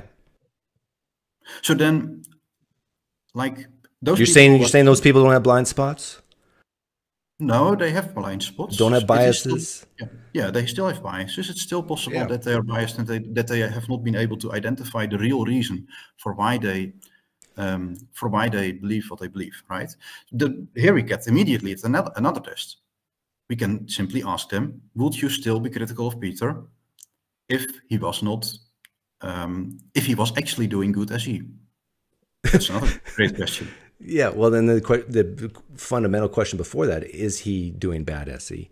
Like you got to unwrap that. Yeah, first. but you take them you take them on their word. They claim that he's not doing good SE or that he is not doing SE at all. Like you just that's okay. Yeah, like okay, like let's- when did Peter be- when did Peter become anti woke? Reed how many years ago? Oh, Here's another can test we can do. Y- You can hear a lot of hints of it from the book How to Have Impossible Conversations, so at least 2014, 2015. But but the uh, how to create an vocal it atheist. until- Yeah, just just just so you so the audience notices this as well, right? I've been trying really really hard to talk about what I believe is the reason for criticism of Peter, and uh, you, Pine Creek, have been consistently trying to insert Peter's political beliefs in the conversation, even Yeah. though I say those are not relevant. Yeah, and I don't believe that. So you Yeah. need to convince me otherwise. No, I don't. I'm not particularly interested in convincing you. Okay, so if you're not I'm- interested in I'm- convincing me otherwise, then I guess the I'm conversation's over. Yeah, I'm interested in convincing the audience, right? Ah, you're interested in convincing the audience. Yeah. Um, I do believe that there are people who uh, are critics of of Peter who do agree with his politics. Um, but I would say the main. There are also people who are critical of Peter who like don't care about, like think that's not an important topic to be critical about. Sure, they may disagree or agree or whatever, but it's not relevant for the criticism. Why do you want to convince my audience? I think I, I, I deeply care about critical thinking and um, and having good quality conversations. And no, but you're trying to convince my audience about Peter. No, no. It's not about Peter. It's about the reasons. Like I care about um, about SE. I'm um, I'm interested in uh, promoting SE because I think it's a valuable tool for critical reflection and good conversations. It's also a tool that I use to have better conversations with my family and um, in, in, in, in my I- private. that's all good and well, but this conversation is about Peter, right? Yeah, and I Why think do you want to convince the audience that what Peter's doing is bad? Yeah, because it's tarnishing your brand. There you go. Yeah. This is what it's all about. So uh, now can we? Um, so now you may feel like you have identified how I'm not agreeing with his political views, but the reason he is tarnishing the brand is not because of political views. It's because he's doing bad SE. Yeah, and that we disagree about. Yeah, and but we don't. We're not. We don't care about that disagreement. Uh, we have some. T- we proposed some tests. Um, how we could figure it out, but um, but again, a lot of these tests are so subjective. Like, uh, it's it's a matter of opinion whether. Oh, that was good rapport. Well, that was better rapport. I mean, and that I mean that went deep. Oh, that was, SE, SEI is working on a kind of checklist for figuring out if even a conversation is is SE at all. That's one checklist, and another one is a uh, is this a good uh, SE conversation? So these are two separate things we're working on, and once they're done, we'll be able to see more objectively, less objectively if Peter is doing SE or not, or good. SE. Can you, Now, Jan? Can you? same question for you, Pine Creek. Why Yeah. do you care about saying that it is something other than what I'm saying?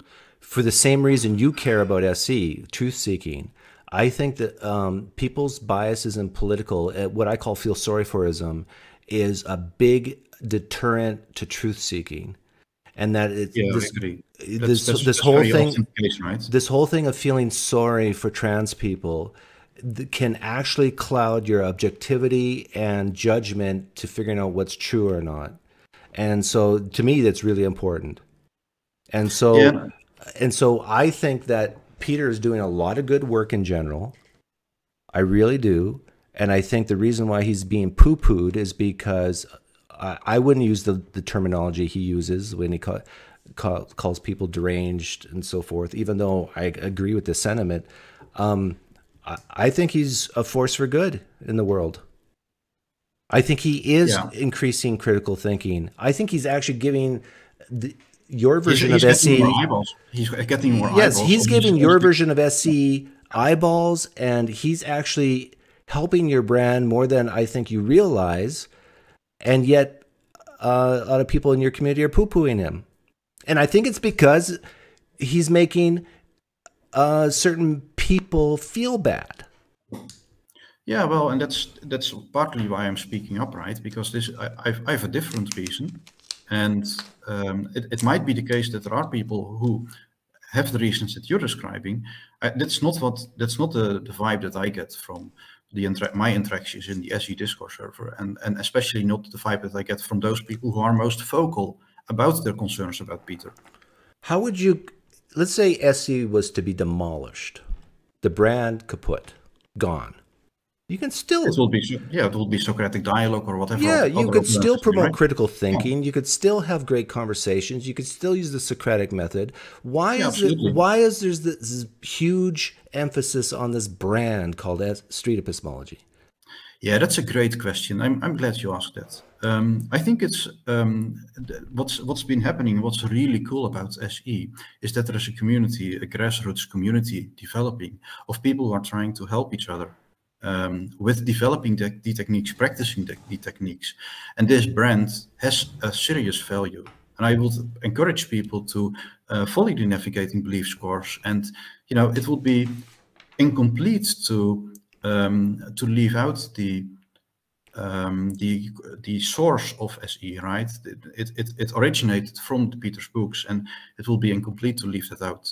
Um, so it's important to protect this brand because it's it's something it's something very valuable. It's something very beautiful in this world, and it will be a it, it will be really and yeah it, it will not be beautiful if if this if this was somehow Like I, um, I like don't get me wrong. I I love SE as well. I love a lot of people in the community. Uh, SE is probably the reason why my uh, subscriber c- count went from like 15 to like 500 uh, when I first started my YouTube channel. Um, but I mean, it, it's very replaceable. My dog agrees. yeah yeah yeah it's um it's Well, ho- hopefully, this whole issue is just to resolve itself when we see Peter doing good SE, and it's not a bad thing for the brand. That's my goal. You know, he's actually on, on a plane here to Los Angeles right now. We're going to be doing more, actually, more just podcast stuff. But later, we're going to a Taiwan. So I'm working to to make the best SE content for myself, for Peter. I just hope it all gets all worked out. I uh, we got to end this soon because um, I got to go pick up my son. Plus, it's four minutes left on this thing. But um, I- I'm just curious, how big would you say the SE community is? Like how you define it, Jan? Oh, that's really hard to tell. I haven't looked at the numbers. I, I, there is um, thousands of people in the SE Discord server, I believe. Um, uh, yeah, there's there's a lot of people. Um, Like how many like really active though? Mm, We're talking hundreds, it's tens. It, it's hard to tell. I don't know. I think there's a lot of people who are not necessarily active in the Discord server, but who have encountered SE uh, and are using it in in, in their family. Like that's where it's not in the videos where SE is used the most, right? It's uh, people who do it with their family, people do it with their friends and their loved ones, and that's where it really matters, right? And I've had myself um, uh, people who I introduced the terminology street epistemology to, who replied to me like, "Hey, I'm looking this up on Wikipedia, and it originated from a book, a manual for creating atheists. This is some biased, this is some biased um, methodology. That that book title is already." That's already a, a reason for people to be suspicious when I'm using the brand, and this this is really like and fortunately enough they were they were open enough to continue reading the wikipedia page and and see that there are more branches of se going on. And they were open to continue talking about uh, about street epistemology. But it's a re- it's having a real effect on people's perception. And i think that's i think that's that's that makes me sad honestly because it's such a beautiful tool to have better conversations yeah, I, I, agree. It's a wonderful tool. I've used it a lot. Um, Reed, what percentage of uh, the SE community do you think is woke? um, Based on Peter's definition. I don't know. Over half? 10, 15, 10, 15% to like, you know, actually woke. You know, okay. And how what percentage uh, would be uh, conservative? Two. five five percent. I don't know. Hard yeah. to say. Yeah, I wonder where you get those numbers from, Reed, because I don't not aware aware of any polling data. So, because um, that would change my mind, Jan. Yeah, I, my my guess will be that the SE community is much more conservative than um, than than than. Well, I'm talking about right now the board, the the people who actually care about this stuff deeply. Yeah, we, um, we can we can we can do a poll, right? We we, yeah. we have to set up more. If eighty percent of them are conservative. Yeah. Yeah, yeah I, th I think since most people come to SE from a religious background, and religious people are more often conservative than progressive, um, I would I would assume that you know maybe conservatism is a little bit more prevalent than uh, you're guessing here. So, but that, that's I hope so. You know, yeah, I don't conflate I don't conflate woke with progressive there's some distinction there. So the, yeah. the vast majority of SE community is, is yeah. I was I wasn't trying to conflate progressive, progressive either. That's, hey guys, we got to wrap this up. Uh, thanks for coming on, Jan. Thanks, Reed. Yeah, uh, thanks for having me, and uh, thanks for the great discussion. And uh, it was beautiful. Okay, see ya. See you later. Uh, let's see here. I'm gonna quickly do something. No, that didn't work. Ooh, that perfect timing though. Sorry, my liberal friend, the guy wanted in. Um, I always have great conversations with you. I got a little time here before I have to go, so I'll uh, focus on the chat and then we'll wrap it up.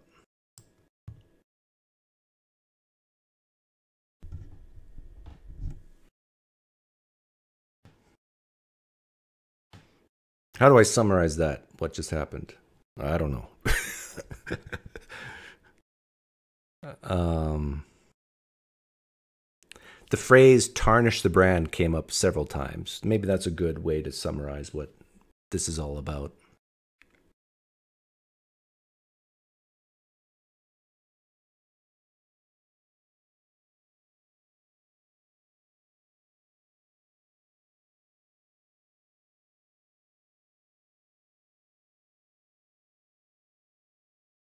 SE splitting into dominations. Have the correct SE.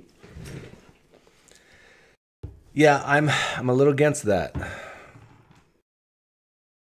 But I've always been a little um, maybe too much anti-tribal.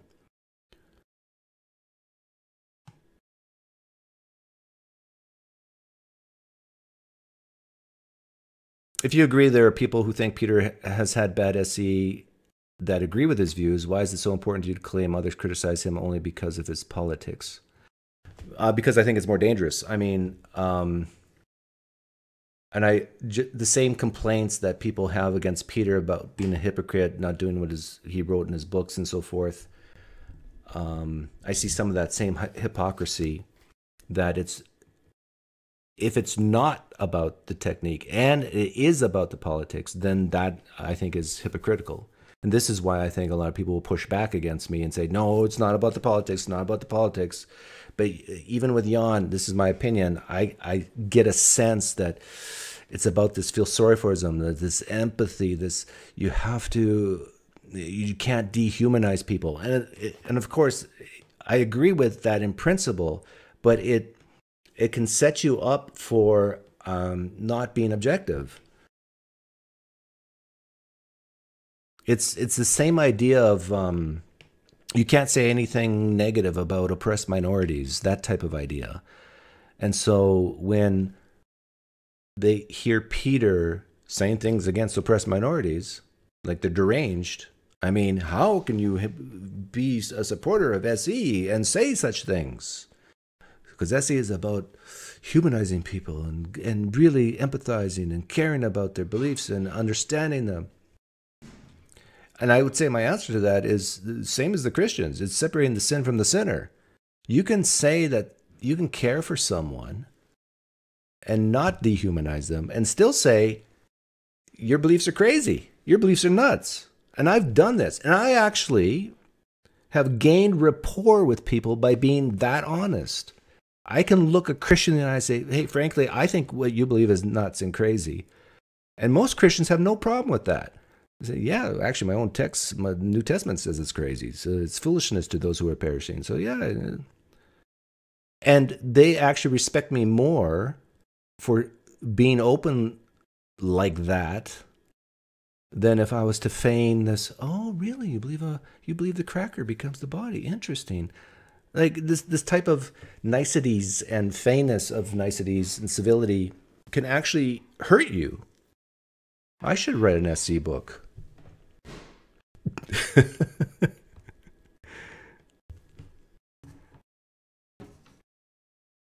And who knows? There's there's maybe some trans people who appreciate Peter. Oh, uh, you ever thought about that? Where Peter says, you know, it is deranged to think that uh, kids should be getting puberty blockers. This deranged thinking. I've heard Peter say stuff like this. I bet you there's trans people say Peter's right. Now, if if those people exist, is Peter dehumanizing people? Is he showing a lack of empathy? Is he no. He's expressing his opinion.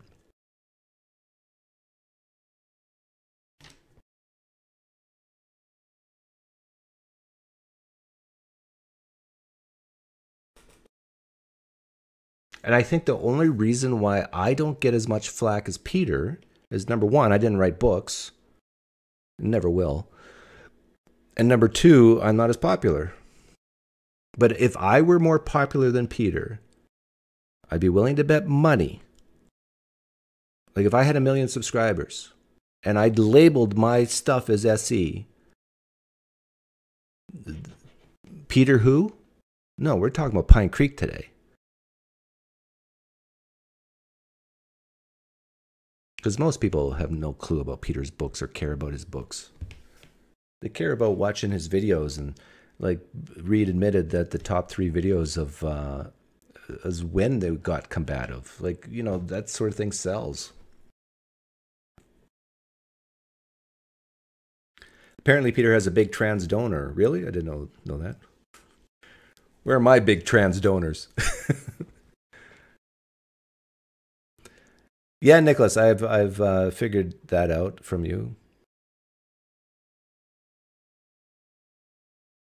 but it it boils down to this minutia of of checking these boxes. You got to do this. Okay, set up your rapport, and then uh, uh, figure out the claim, and then figure out the reason, and then investigate the reason. Use techniques like outside. I mean,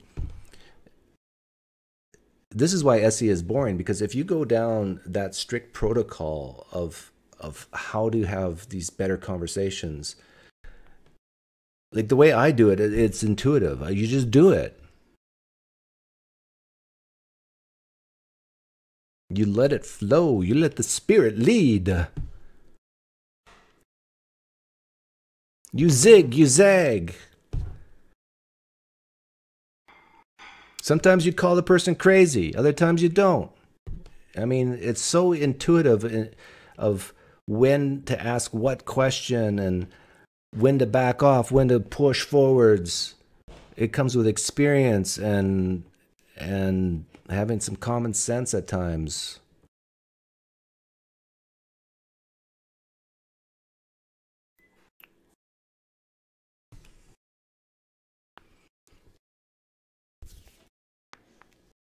But it will take a lot of convincing to convince me that politics has nothing to do with this. I think it has most to do with it, but and I- I should ask Jan if he thinks it has anything to do with it. I think he would have to admit yes, it has something to do with it, but it's not the main thing. But I would need to see a ton. Of, my default position is that this is mostly about politics until and so you need evidence to get me off that default. I mean, it's very reasonable to think that a lot of the disagreements and passions of people are politically based. It's not even so much religion, it's politics. This is why people are uncomfortable about talking about politics because it's so deep seated and, and powerful and passionate.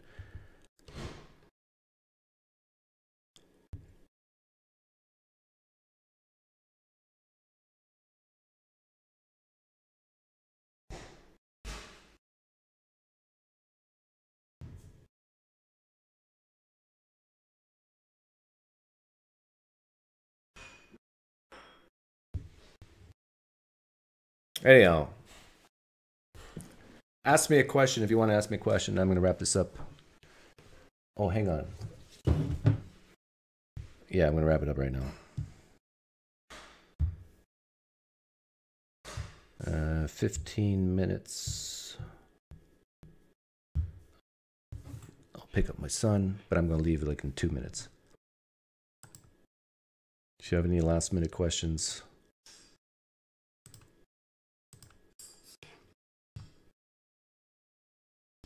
Yeah, they have the burden of proof, not me.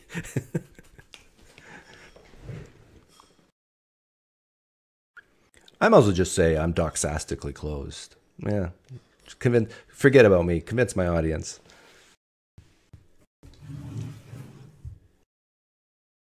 That's not true. I, I can be changed. I can change my mind. I gave some tests, but they're really hard to do. And I, I don't think self reporting is good enough. I, uh, just believe me, Doug. It's not about the politics.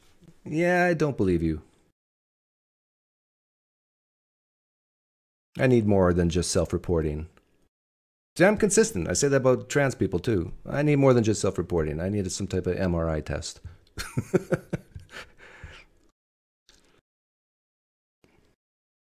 Do you make your son pay for gas since you have to pick him up? I should. I make my daughter pay for gas because she's 20, my son's 17.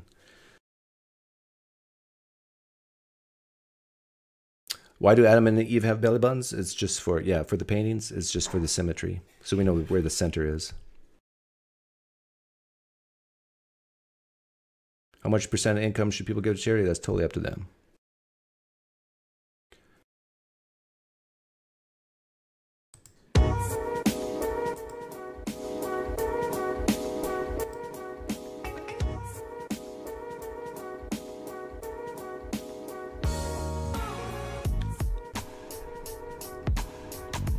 How about you're reporting you're not motivated by? I've never said I'm not. I am motivated by politics. I am motivated by politics. Politics is where rubber hits the road. This is what actually policies, laws, everything.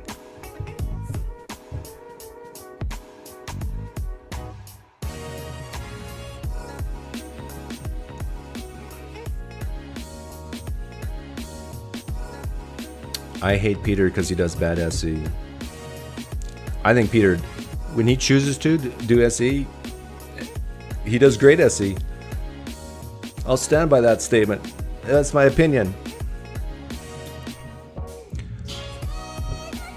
I think Peter does better SE than most people. Not me, but most common people.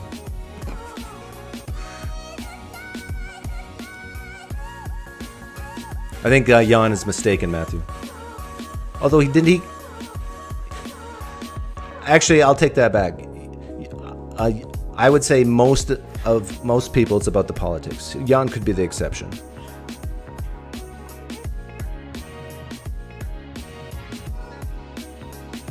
Why is our bottom in the middle?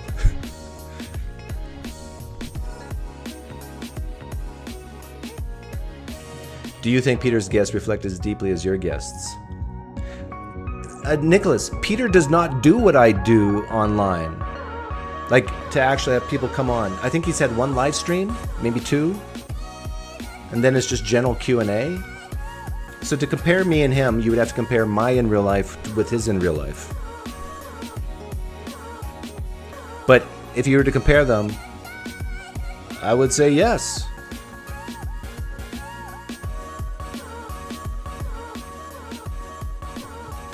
I would say yes, his guests do reflect as much as mine do. My guests reflect. Which is sometimes not that much, but still reflection, still better than nothing, right? Poof. Poof. Get out of here, Doug. Thanks for hanging out. Uh, what is Thursday? Am I? Ah, I might be around tomorrow, weekend. Who knows? Have a great day.